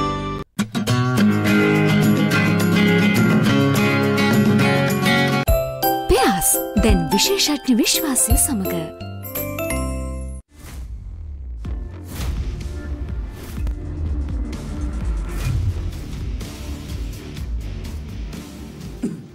විරමෙන් අනතුර ඔබ නැවතත් එකතු වෙ සිටින්නේ ඉරහරි කෙලින් වැඩසටහන සමගින් අද දවසේදී අපේ ආරාධිත අමුත්තා සමගි ජනබලවේගේ නියෝජ්‍ය ජාතික සංවිධායක පාර්ලිමේන්තු මන්ත්‍රී එස්.එම්. මරික්කාර් මහතා අපි සූදානම් අපේ කතාබහ අරගෙන යන්න දිගටම ලක්ෂී. හොඳයි චවික අපි විරාමයට පෙර කතා කරේ මේ රටේ ජනතාවගේ වන බදු බර ඒ වගේම ආර්ථික අර්බුද ඒ වගේම ඔබතුමා ඔබතුමා විසින් සිදු කරන ලද සාධනීය ව්‍යාපෘති පිළිබඳවත් අදහස් ඉදිරිපත් කළා අලුත් වෙළඳපොළ රාමුවකට අපේ රට ගමන් කරනවා නම් සමගි ජන බලවේගයට සම්බන්ධව හොඳ දැක්මක් තිබෙනවාද? පක්ෂයක් විදියට එහෙම දැක්මකුත් තියෙනවා. එහෙම දැන් ගොඩක් අය දන්නේ නැහැ. අපි අවුරුදු 3ක් තිස්සේ හැම සඳුදාටම හවස දෙකේ ඉඳලා 6 වෙනකන් විවිධ ශේෂ්ත්‍රවල ඉන්න විශේෂඥයන් ගෙනල්ලා හැම ශේෂ්ත්‍රයකම සජිත් ප්‍රේමදාස මැතිතුමා සහ කණ්ඩායම මේ අපිත් යම් යම් අවස්ථාවල සම්බන්ධලා තියෙනවා අපි විවිධ මේ මේ විෂයන් පිළිබඳව ඒ විශේෂඥයන් එක්ක කතා කරලා අපි වැඩසටහනක් හදලා තියෙනවා. ඉතින් ඒක නියම වෙලාවට අපි එලි දක්වන ප්‍රායෝගික වැඩපිළිවෙලක්. අනිත් එක මේ සුද්ධගාව මේ ජනගහන වැඩපිළිවෙලකුත් නෙමෙයි. ඒ වගේම ලෝකෙන් හුදකලා වෙලා බොරු චණ්ඩි පාට දාන පාළුගේ වළම් බඳින වැඩපිළිවෙලකුත් නෙමෙයි. මහ පොළොවේ ප්‍රායෝගිකව ක්‍රියාත්මක කරන්න පුළුවන් වැඩපිළිවෙලක්. මොකද දැන් රටට අවශ්‍ය වෙන්නේ ජනතාව පිළිබඳව සංවේදී නායකයෙක්. ජනතාව ගැන රබර් නහර දින නායකයෙක් නෙමෙයි ඕන වෙන්නේ. උද්දච්ච නායකයෙක් නෙමෙයි ඕන වෙන්නේ. සංවේදී නායකයෙක්. සංවේදී නායකයෙක් ආව කියලා යාට තනියම කරන්නත් බෑ. මේ වැඩපිළිවෙල ක්‍රියාත්මක කරන කණ්ඩායමක් ඉන්න ඕන. නිර්මාණශීලී හැකියාවන්ගෙන් නිපුණතාවයන්ගෙන් පිරිපුන් අත්දැකීමුත් තියෙන තරුණ ඔක්කොම මිශ්‍ර කණ්ඩායමක් ඕන. ඉතින් ඒ කණ්ඩායම ඉන්නේ සමගි ජන බලවේග විතරයි. වෙන වෙන කොහෙද කණ්ඩායමක් ඉන්නේ? රට බංකලොත් කරපු පොට්ටුවේ කණ්ඩායම ඉන්නේ. එහෙම නැත්නම් ප්‍රාදේශීය සභාවක්වත් කරගන්න ප්‍රාදේශ සභාව කරන දුම් ගහන ටිකවත් කරගන්න බැරි වෙච්ච කය ගහන කණ්ඩායමේ ඉන්නේ. හරිද? එහෙම නැත්නම් මේ විවිධ චෝදනාවලට ලක් වෙච්ච කට්ටිය විතරක් ඉතුරුලා ඉන්න ඩීල් කණ්ඩායමේ ඉන්න කොළපාට කණ්ඩායමේ ඉන්නේ. සමගි ජන බලවේග විතරයි ඉන්නේ කණ්ඩායම. හරිද? ඉතින් සමගි ජන බලවේගයේ ඒ කණ්ඩායම ඉන්නවා. ඒ කණ්ඩායමේ කවුරු හරි නුසුදුසු නම් ඒ අය පිළිබඳව ජනතාවට තීන්දුව ගන්න පුළුවන්. හැබැයි කණ්ඩායමින් අපි ගාව. මොකද හොඳට මතක තියාගන්න মালටි ටාස්ක් වැඩ කරන්න ඕන අපි. හරිද මේ එක පුද්ගලයෙක් විතරක් මේ මේ හීනෙන් දැකලා මේ රැට හීනෙන් දැක උදේට ඇවිල්ලා ජනාධිපතිතුමා දැන් කියන්නේ. ඒ වගේ කියලා වැඩක් නැහැ. හරිද? මේ එක ඇමතිවරු 30ක් ඉන්නවා නම් 30 දෙනාම වැඩ කරන්න පුළුවන් මිනිස්සු වෙන්න ඕන. ඒ ඒ ශේෂ්ත්‍රවල ජයග්‍රහණ ගන්න පුළුවන් කණ්ඩායම් වෙන්න ඕන. ඒ ටාගට් ඇචීව් කරන්න පුළුවන් ඒ ගෝල් වලට යන්න පුළුවන් ටීම් එකක් වෙන්න ඕන. හරිද? ඉතින් එහෙම නැතුව මොකද හේතුව දැන් අපි එක දෙයක්නේ බදු බර අඩු කළ යුතුයි. රාජ්‍ය ආදායම් වැඩි කළ යුතුයි. රාජ්‍ය ආදායම් වැඩි කරන්න නම් බදු බර අඩු කරන්න නම් එක විකල්පයයි අලුත් ආදායම් මාර්ග බිහි කළ යුතුයි. හරිද? අලුත් ආදායම් මාර්ග බිහි කරන ගමන් නිෂ්පාදනය වැඩි කළ යුතුයි. අලුත් ආදායම් මාර්ග බිහි කරන්නේ කොහොමද? හැම පැත්තෙම කරන්න පුළුවන්. මූල්‍ය ආයෝජන කලාප වෙන්න පුළුවන්, තොරතුරු තාක්ෂණ ආයෝජන කලාප වෙන්න පුළුවන්. මේ මේ තියෙන භූමිය පාවිච්චි කරගෙන අපි නිදානයක් උඩ වාඩි වෙලා හිඟා කරන රටක් මේක. හරිද? එතකොට දැන් මෙඩිකල් ටූරිසම් අපි ආරම්භ කරලා තියෙනවද? නැහැ. වයිල්ඩ් ලයිෆ් ටූරිසම් එක අපි එක්ස්පෑන්ඩ් කරලා තියෙනවද? දැන් මම ඔබට මෙඩිකල් ටූරිසම් කියන එක මම උදාහරණයක් කියන්නම්. මාලදිවයින ඊටාම කුඩා රටක්. හැබැයි හැම දෙයකටම මේගොල්ලෝ ලංකාවට එන්න පුළුවන්. එතකොට අපිට ඇයි මාලදිවයින ටාගට් කරලා දකුණු ඉන්දියාව ටාගට් කරලා මෙඩිකල් ටූරිසම් එක ඩිවෙලොප් කරන්නේ නැත්තේ ඇයි? ඉතින් ඒ මේක හැම එකම නායකයා කෙනකම් බලන් ඉන්න ඕන තමාගේ විෂය තමා කරන්න ඕන. හරිද? එතකොට දැන් මම ඒකට හොඳ උදාහරණයක් කියන්නම්. ශ්‍රී ලංකන් එයාලයින් එක ගන්නකෝ. ශ්‍රී ලංකන් එයාලයින් එක ලාභ ලබන්නේ නැත්තේ ඒ එයාලයින් ගන්නකොට මේ මේ මේ 150ක් විතර හොරකම් කරපු වාරික ගෙවන්න තියෙනවනේ. නැත්තම් ශ්‍රී ලංකන් එයාලයින් එකේ කවුද යන්නේ? ඔක්කොම දකුණු ඉන්දියානු කට්ටිය යන්නේ. එතකොට අපිට මේ වෙළඳ පොලක් කියන ලංකාවට වෙළඳ පොලක් කියන්නේ මේ ලංකාව විතරක් නෙමෙයි. ලංකාවේ තියෙන සම්පත් විතරක් නෙමෙයි. මේ අවට කලාපයන් ගැන හිතලා තමයි අපි මේ වෙළඳ ප්‍රවිවෘත කරන්න ඕන. ඊළඟට අපි එළියට යන මුදල් පුළුවන් තරම් පාලනය කරන්න ඕන. දැන් උදාහරණයකට අපේ රටේ මේ විශ්වවිද්‍යාල නොයන පිටරට විශ්වවිද්‍යාලය වලට යන තරුණ තරුණියන් ඩොලර් බිලියන 3ක් විතර ගෙනියනවා. එතකොට අපිට ඒක අඩු කරන්න පුළුවන් ක්‍රමය මොකද්ද? අපි පෞද්ගලික අධ්‍යාපනයට ඉඩ දිය යුතුයි. මේ මගේ පෞද්ගලික මතය. ඒ කියන්නේ මේ මේ 2.50 මේ උපාධිකට නෙමෙයි. හරිද? ලෝකේ টপ යුනිවර්සිටි වලට අපි අපි ලංකාව ඇතුළට එන්න දෙන්න ඕන. එතකොට ඒවා කරන්න ඕන ක්‍රම තියෙනවා 10ක් හරි 15ක් හරි අපේ රටේ මේ මේ දුප්පත් දරුවන්ට මේ ඉගෙන ගන්න පුළුවන් අවස්ථාව ලබා දෙන්න. මොකද මේ විශ්වවිද්‍යාල පද්ධතිය තව පුළුල් කරගෙන යන එක ඒක හිතන තරම් ලේසි වැඩක් නෙමෙයි. ඊළඟට අපේ රටේ බුද්ධිමතුන් විශේෂයෙන්ම වෛද්‍යවරුන් මේ බුද්ධිගල්නේ අපි නවත්ත ගන්න ඕන. හරිද මේ ආණ්ඩුවේ සමහර අය කියනවා ආත්මාර්ථකාමී කට්ටියලු ගෙනියන්නේ මේ මේ එහෙම රට යන්නේ. ඉතින් ඒගොල්ලෝ බංකොලොත් කරලා ඉවරලා හොරකම් කරලා ඉවරලා ඒ මිනිස්සුන්ට තමන් ඉගෙනගත්තු දෙයින් හම්බ කරගන්න කන්න තියෙන අයිතිය මේ නැති කරාම හරියනවද? දැන් වෛද්‍යවරයෙක්ට වෛද්‍යවරයෙක් ලබන තඩිය දීමනාව අරන් බැලුවම ඔහු රට ඇතහැරලා යන එක අහන්න දෙයක්ද? අද OIC කෙනෙකුට OIC කෙනෙක් විදිහට ජීවත් වෙන්න පුළුවන්ද? ප්‍රින්සිපල් කෙනෙකුට ප්‍රින්සිපල් කෙනෙක් විදිහට ජීවත් වෙන්න පුළුවන්ද? බෑ. ඉතින් ඒ නිසා ඒ සමාජ වපසරිය ඒ මට්ටමට හදන්න නම් අලුත් වෙළඳ පොළවල් කරා ප්‍රවේශ වෙමින් ඒ හරහා අලුත් ආදායම් මාර්ග ලබමින් හරිද? ඒ ආදායම් මාර්ග හරහා බදුබර යම් මට්ටමකට සහනයක් ජනතාවට ලබා දෙමින් ණය ගැනීම සීමා කිරීම පමණමයි මේක ගොඩ දාන්න පුළුවන් වෙන්නේ. හොඳයි දැන් ඔබතුමා ওই පැහැදිලි කිරීමේදී කියනවා සමගි ජන බලවේගයේ නුසුදුසු පුද්ගලයන් ඉන්නවනම් මහ ජනතාවය සම්බන්ධයෙන් තීරණයක් ගන්න ඕන කියලා. ඔබතුමා ඒ කියන්නේ විශ්වාස කරනවා. පටලවන්න එපා. මම කිව්වේ අපේ ගාව තමයි කණ්ඩායම ඉන්නේ. අපේ ගාව තමයි හරි නායකයා ඉන්නේ. හරිද? ජනතාවට හිතනවා නම් අපේ අයගේ අපේ අය අපේ ඉන්න කණ්ඩායමිනුත් කවුරු හොඳ නැහැ කියලා කියනවනම් මේක ජනතාව තීරණය කරන්න ඕන කියලා මම කිව්වේ. හොඳයි. ඒ නැතුව එහෙම හොඳ නැති කට්ටිය එතන නැහැ කියන එක නෙමෙයි ඔබතුමා අදහස් කරේ. නෑ ඒක ඒක ඒක පොදුවනේ මං කියන්නේ. පොදුවනේ මං කියන්නේ. දැන් උදාහරණ ගන්නකෝ. දැන් පොට්ටුවේ බහුතරය හොරකම් කරන විවිධ නීති විරෝධී වැඩ කරන අය අතරේ හොඳ මිනිස්සුත් කීප දෙනෙක් කියලා නැතුව නෙමෙයි. මං නම් කියන්න කැමති නෑ. හරිද? ඉතින් මේවා සාපේක්ෂයි. හොඳයි දැන් මේ පෞද්ගලික විශ්වවිද්‍යාල ගැන ඔබතුමා කතා කරපු නිසා අහන්න කියලා හිතුණා දැන් මේ අපේ රටේ රාජ්‍ය ආයතන විශේෂයෙන්ම මේ ලාභ නොලබන රාජ්‍ය ආයතන පෞද්ගලීකරණය කිරීම ගැන විශේෂ වූ කතා බහ පහුගිය කාලේ අහන්නට ලැබුණා. විශේෂයෙන්ම මේ දුම්රිය වගේ මහජන සේවාවන් ලබා දෙන ආයතන මිනිස්සුන්ට අවශ්‍ය සේවය වේලාවට ලැබෙන්නේ නැති වෙනකොට අපිට පහුගිය දවස්වල වැඩියෙන් අහන්න ලැබුණු දෙයක් තමයි මේව පෞද්ගලීකරණය කරන්න විකුණලා දාන්න. ඔබතුමාගේ මතය මොකද්ද මේ සම්බන්ධයෙන්? මගේ නම් මතය විකුණන එක නෙමෙයි. රාජ්‍ය හා පෞද්ගල අංශය ඒකාබද්ධව කරන කළමනාකාරීත්වයකින් තමයි ඔක ගොඩ දාන්න පුළුවන්. හරිද? දැන් මෙහෙමනේ පෞද්ගලික අංශය කාර්යක්ෂම වෙන්නත් රාජ්‍ය අංශය අකාර්යක්ෂම වෙන්නත් මේ මොකද්ද හේතුව? හොය බලන්න. මම හොඳ උදාහරණයක් දෙන්නම්කෝ. පෙට්‍රෝලියම් එක විකුණන පෙට්‍රල් ලීටරෙත් එක ගාණ, IOC එකේ විකුණන පෙට්‍රල් ලීටරෙත් එක ගාණ. IOC එක බිලියන් ගණන් ලාභ ලබනවා, පෙට්‍රෝලියම් එක පාඩු ලබනවා. ඒක කොහොමද එහෙම වෙන්නේ? එකම රටේ එකම මිනිස්සුන්ට එකම තෙල් වර්ගය එකම මිලට ඒ ආයතන දෙකකින් විකුණලා ඒ දෙකම විකුණන්නේ කෑෂ් වලට ජනතාවට රට දෙමින් දෙන්නේ ඒක හරිද? එර එක කොම්පැනියක් ලාභ ලබනවා අනිත් එක පාඩු ලබනවා. කොහෙද අවුල? කලමනාකාරීත් අවුල තියෙන්නේ. ඉතින් ඒ නිසා වෘත්තීය සමිතිය වලට නිදහස ලබා දෙන්න ඕන. වෘත්තීය සමිතිය වලට ඒ අවස්ථාව වෘත්තීය අයිතිවාසිකම් වෙනුවෙන් පෙනී සිටින අවස්ථාව දෙන්න ඕන. මේ හැම එකක්ම රාජ්‍යයට හෝ ජනතාවට හානි කර හානි කර නොවන විදියටයි වෙන්න ඕන. මම මේ මතයේ පෞද්ගලිකවම ඉන්නවා. මොකද දැන් ඔබ ගත්තොත් එංගලන්තය ගත්තොත් නැත්තම් ප්‍රංශය දැකලා මම ඇස් දෙකට දැකලා තියෙනවා ප්‍රංශයේදී සහ ජපානයේදී. ඒ වෘත්තීය අයිතිවාසිකම් වලින් වෘත්තීය අයිතිවාසිකම් වෙනුවෙන් පැණි හිටින්න ඒ ඒ උද්ඝෝෂණ කරන සටන් කරන නියමිත ස්ථාන තියෙනවා. හරිද? ඒක මහ ජනතාවට පීඩාවක් වෙන්නේ නැහැ. ඒක මහ ජනතාවට හානියක් වෙන්නේ නැහැ. අනිත් එක මේ පාඩු ලැබෙමින් බෝනස් ගෙවන සිරිතක් කොහෙවත් නැහනේ. පාඩු ලැබෙමින් බෝනස් ගෙවන සිරිතක් නැහැ. බෝනස් කියන වචනේ තේරුම තමයි තමන් ලබන ලාභයේ කොටසක් සේවකයාට ලබා දීම. දැන් ඔබේ ආයතනය පාඩු ලැබුණ ඔබට බෝනස් කියනවද? ලාභ ලැබුවොත් බෝනස් හම්බෙයි.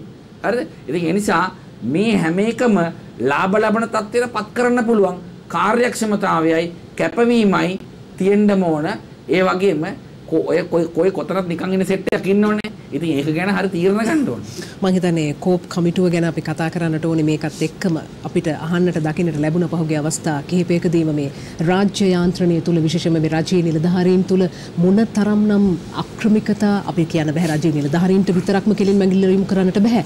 කොයි තරම්නම් අක්‍රමිකතා සිද්ධ වෙලා තියෙනවද කියන එක අපි මාධ්‍ය හමුවේ දැක්කා. කෝප් කමිටුවට දැන් හැකියාවක් තියනවද මෙතනින් එහාට ඉදිරියට යමක් කරන්න? මේ දේවල් නවත්තන්න ජනතාවට එවැන්නක් පේන්න නැත්තේ ඇයි? මම කෝප් කමිටුවේ සමාජිකයෙක් විදියට හරිද? මට මේ දේශපාලඥයෙක් විදියට නෙමෙයි පුරවැසියෙක් විදියට මේ රාජ්‍ය යාන්ත්‍රණය හැසිරීලා තියෙන විදිය දැක්කම විශාල කනගාටුවක් සහ තරහක් තියෙනවා. හරිද? එතකොට දැන් දේශපාලඥයෝ හොරකම් කරනවා ඔව් ඇත්ත.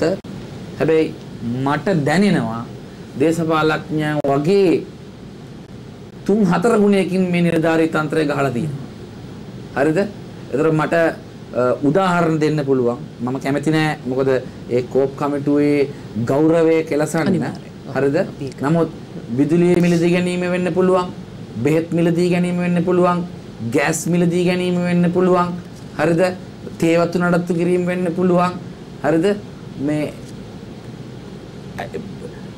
මේ හැම එකේම මේ හැම එකේම අන්ත දූෂිත මට්ටමක තියෙන්නේ. ඊටාම අල්ප මේ රාජ්‍ය ආයතන 500 ගාණෙන්.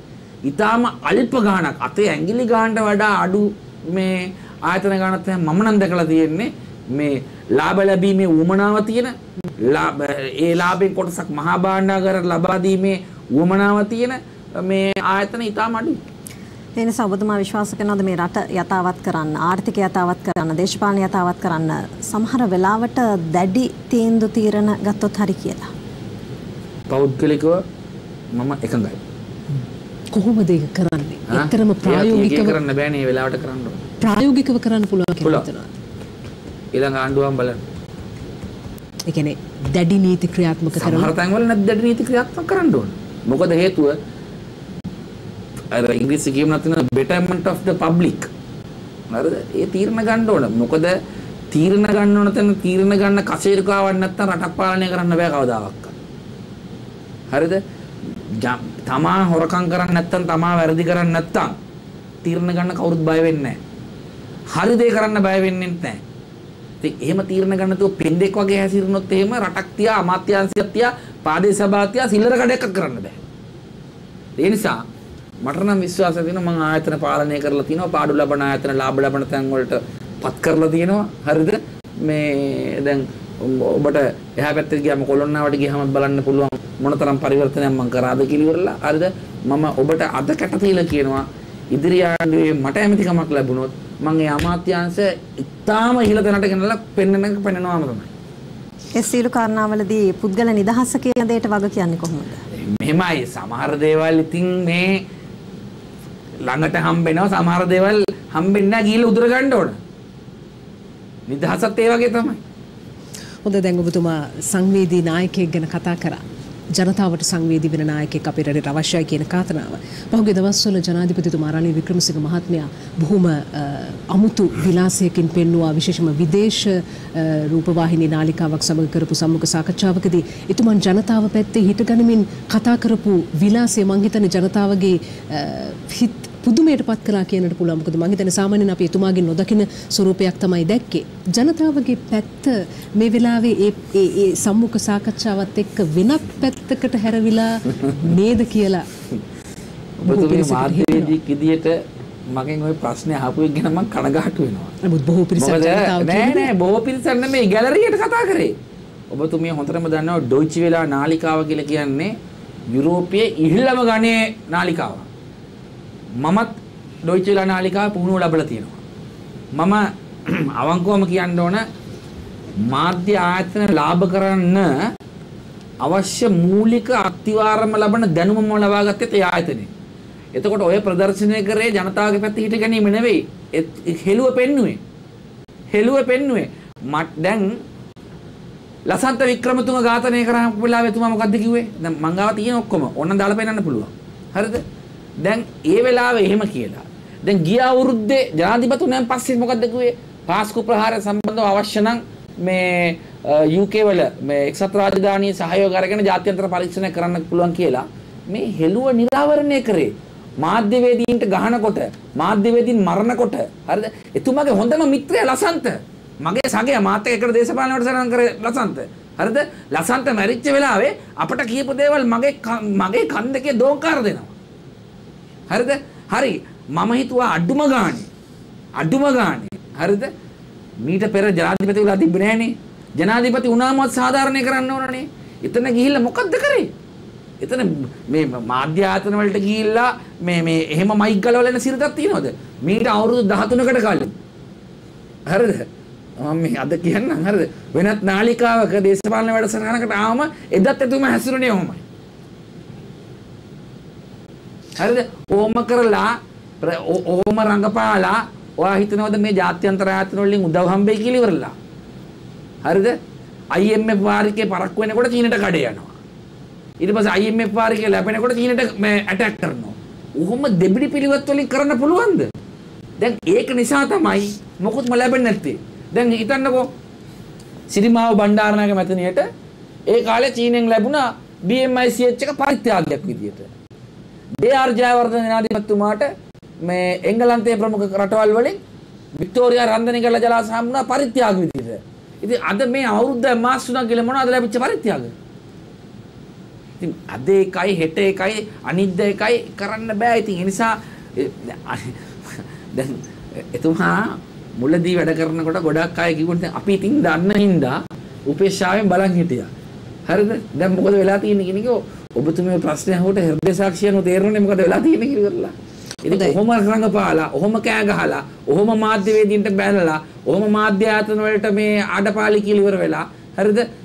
ඔබ හිතනවද විදේශ රටවල හොඳ ප්‍රතිරූපයක් ලැබෙයි කියලා ඉවරලා. ඒ විදේශ රටවල සහයෝගය අපිට ලැබෙයි කියලා ඉවරලා. ඉතින් ඒ නිසා බලය තියෙන වෙලාවේ මොලේ නැති වෙලා තියෙන එකයි මට කියන්න තියෙන්නේ. පාස්කු ප්‍රහාරය ගැන අපි ආයෙත් වතාවක් කතා බහ ඇවිල්ලා තියෙන නිසා මේ ප්‍රශ්නෙට ඔබතුමාගෙන් අහන්නට කියලා හිතුණා. පාස්කු ප්‍රහාරයට අදාළ විමර්ශන ගැන විනිවිද භාවයක් නැහැ කියන කාරණාව ආයෙත් වතාවක් අපිට සමාජයෙන් අහන්නට දකින්නට ලැබෙනවා. ඔබතුමන්ලගේ මොකද්ද මේ සම්බන්ධයෙන් තියෙන මතය? ජාත්‍යන්තරයෙන් පරීක්ෂණයක් ඉල්ලීමේ සූදානමක් තිබෙනවද? යම් දවසක බලයට පත් වුණාට පස්සේ කොහොමද ඒ සම්බන්ධයෙන් විමර්ශන අනිවාර්යෙන් ජාත්‍යන්තර පරීක්ෂණයක් කරන්න ඕන. මොකද හේතුව දැන් මෙහෙමනේ පාස්කු ප්‍රහාරයේ වින්දිතයෝ ප්‍රධාන වශයෙන් මේ රටේ කතෝලික ජනතාව. එතකොට කතෝලික සභාව අගරාධකරුතුමා කතෝලික ජනතාව මේ කෙරලා තියෙන පරීක්ෂණ පිළිබඳ සෑහීමකට පත් වෙලා නැහැ. ඒ නිසා ඔවුන්ගේ ඉල්ලීමට සමන් දිය යුතුමයි. එක. දෙවෙනි එක මේ රටේ මුස්ලිම් ජනතාව මේ පාස්කු ප්‍රහාරය නිසා බහුතරය මුස්ලිම් ජනතාව චෝදනාවලට ලක් වුණා. එතකොට ඔවුන්නුත් චෝදනාවලින් නිදහස් විය යුතුයි. ඒ නිසා මේකේ දැන් අමුතුවෙන් හොයන්න දෙයක් නැහැ නේ මරාගෙන මැරුණේ කවුද කියලා. ඒක මුළු රටක් දන්නවා ලෝකයක් දන්නවා. එතකොට මේක උනේ කොහොමද කියලා හොයන්න එපා. ඒ පිළිබඳව සෑහීමකටපත් වෙන්නේ නැත්නම් මේ රටේ කතෝලික ජනතාව මේ රටේ මේ කතෝලික සභාව ඒ වගේම මියගිය බෞද්ධ ජනතාව ඒ වගේම 42 දෙනෙක් මේ විදේශිකයන් මිය ගිහලා තිනවා. ඒ රටවල් මේව පිළිබඳව මේ සෑහීමකටපත් වෙන්නේ නැත්නම් මේ බොරු කයිය ගහලා මේව යට ගැහුවොත් අන්තිමට හේග් වල තියෙන ජාත්‍යන්තර අධිකරණ වලට අපිව ගෙනියයි. ඔය මියගිය රටවල් වල මේ මේ මියගිය විදේශිකයන්ගේ රටවල් වල උදවිය. ඒ නිසා සාධාරණ විනිවිදභාවයකින් තියෙන පරීක්ෂණයක් අවශ්‍යයි. ඉතින් කාව හරි රකින්න හරි කාව හරි බේරන්න හරි කාට හරි උමනාවක් නැත්තම් ඒක ඒක ඒක ඒද බීද සීද කියන එක අදාළ නැහැ අනිවාර්යයෙන්ම කළ යුතුයි. හොඳයි රටේ තියෙන වාතාවරණයත් එක්ක ඉදිරියේදී බලයට පත්වෙන ආණ්ඩුවට එහෙම නැත්නම් රජයට අභියෝග ගණනාවක් තියේවි ඡය ගන්න. ඒ හරහා ඔබතුමන් මා කැමති ඔබතුමාට මේ පක්ෂ ප්‍රශ්නය යොමු කරන්න ජාත්‍යන්තර අතපෙවීම් සම්බන්ධයෙන් සමග ජන බලවේගයේ දරන්නේ මොන වගේ අදහසක්ද? අපි ඒකීය රටක් විශ්වාස කරන හරිද මේ බුද්ධාගමට ප්‍රමුඛ ස්ථානය ලබා දෙමින් අනෙකුත් ආගම් වලට තියෙන නිදහස ගරු කරන ස්වාධීන රාජ්‍යයක් විදිහට තමයි කටයුතු කරන්නේ. ඒකෙන් අදහස් වෙන්නේ නැහැ අර ලිම්මැඩි මානසිකත්වය අපි ජීවත් වෙනවා කියලා. අපිට සබඳතා අවශ්‍යයි. දැන් අපි අල්ලපු ගෙදරත් එක්ක හොඳින් ඉන්නවා කියලා කියන්නේ ඒ ගෙදර අයට අපේ ගෙදර පාලනය කරන්න දෙනවා කියන එක නෙමෙයිනේ. තේරුණේද?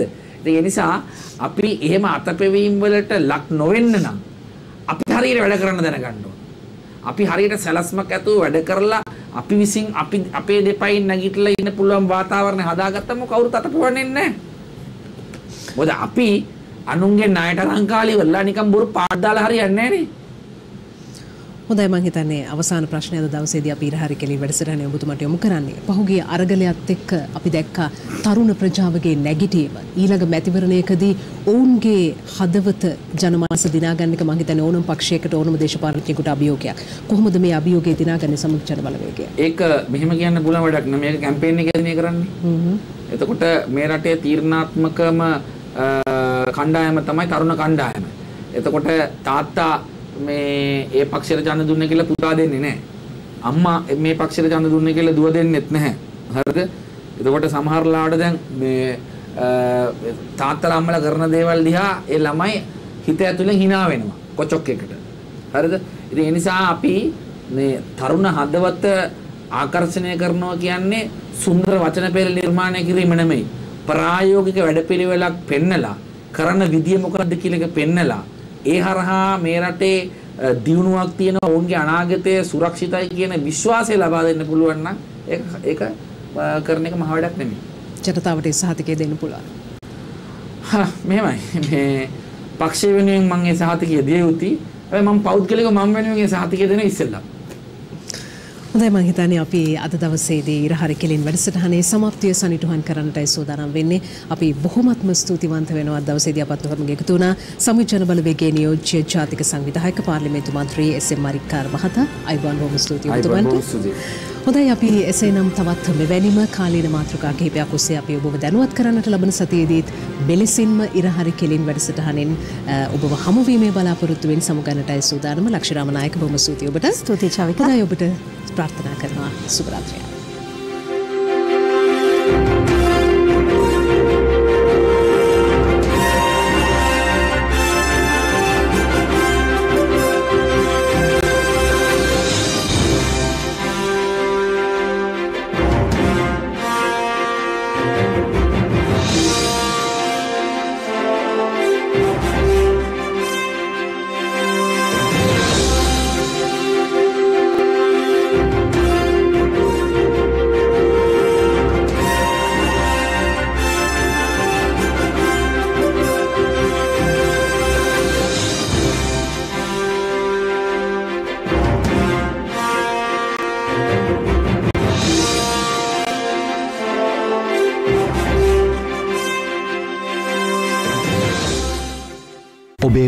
වැඩසටහන් නරඹන්න ස්වර්ණවාහිනී YouTube නාලිකාව වෙත පිවිසන්න.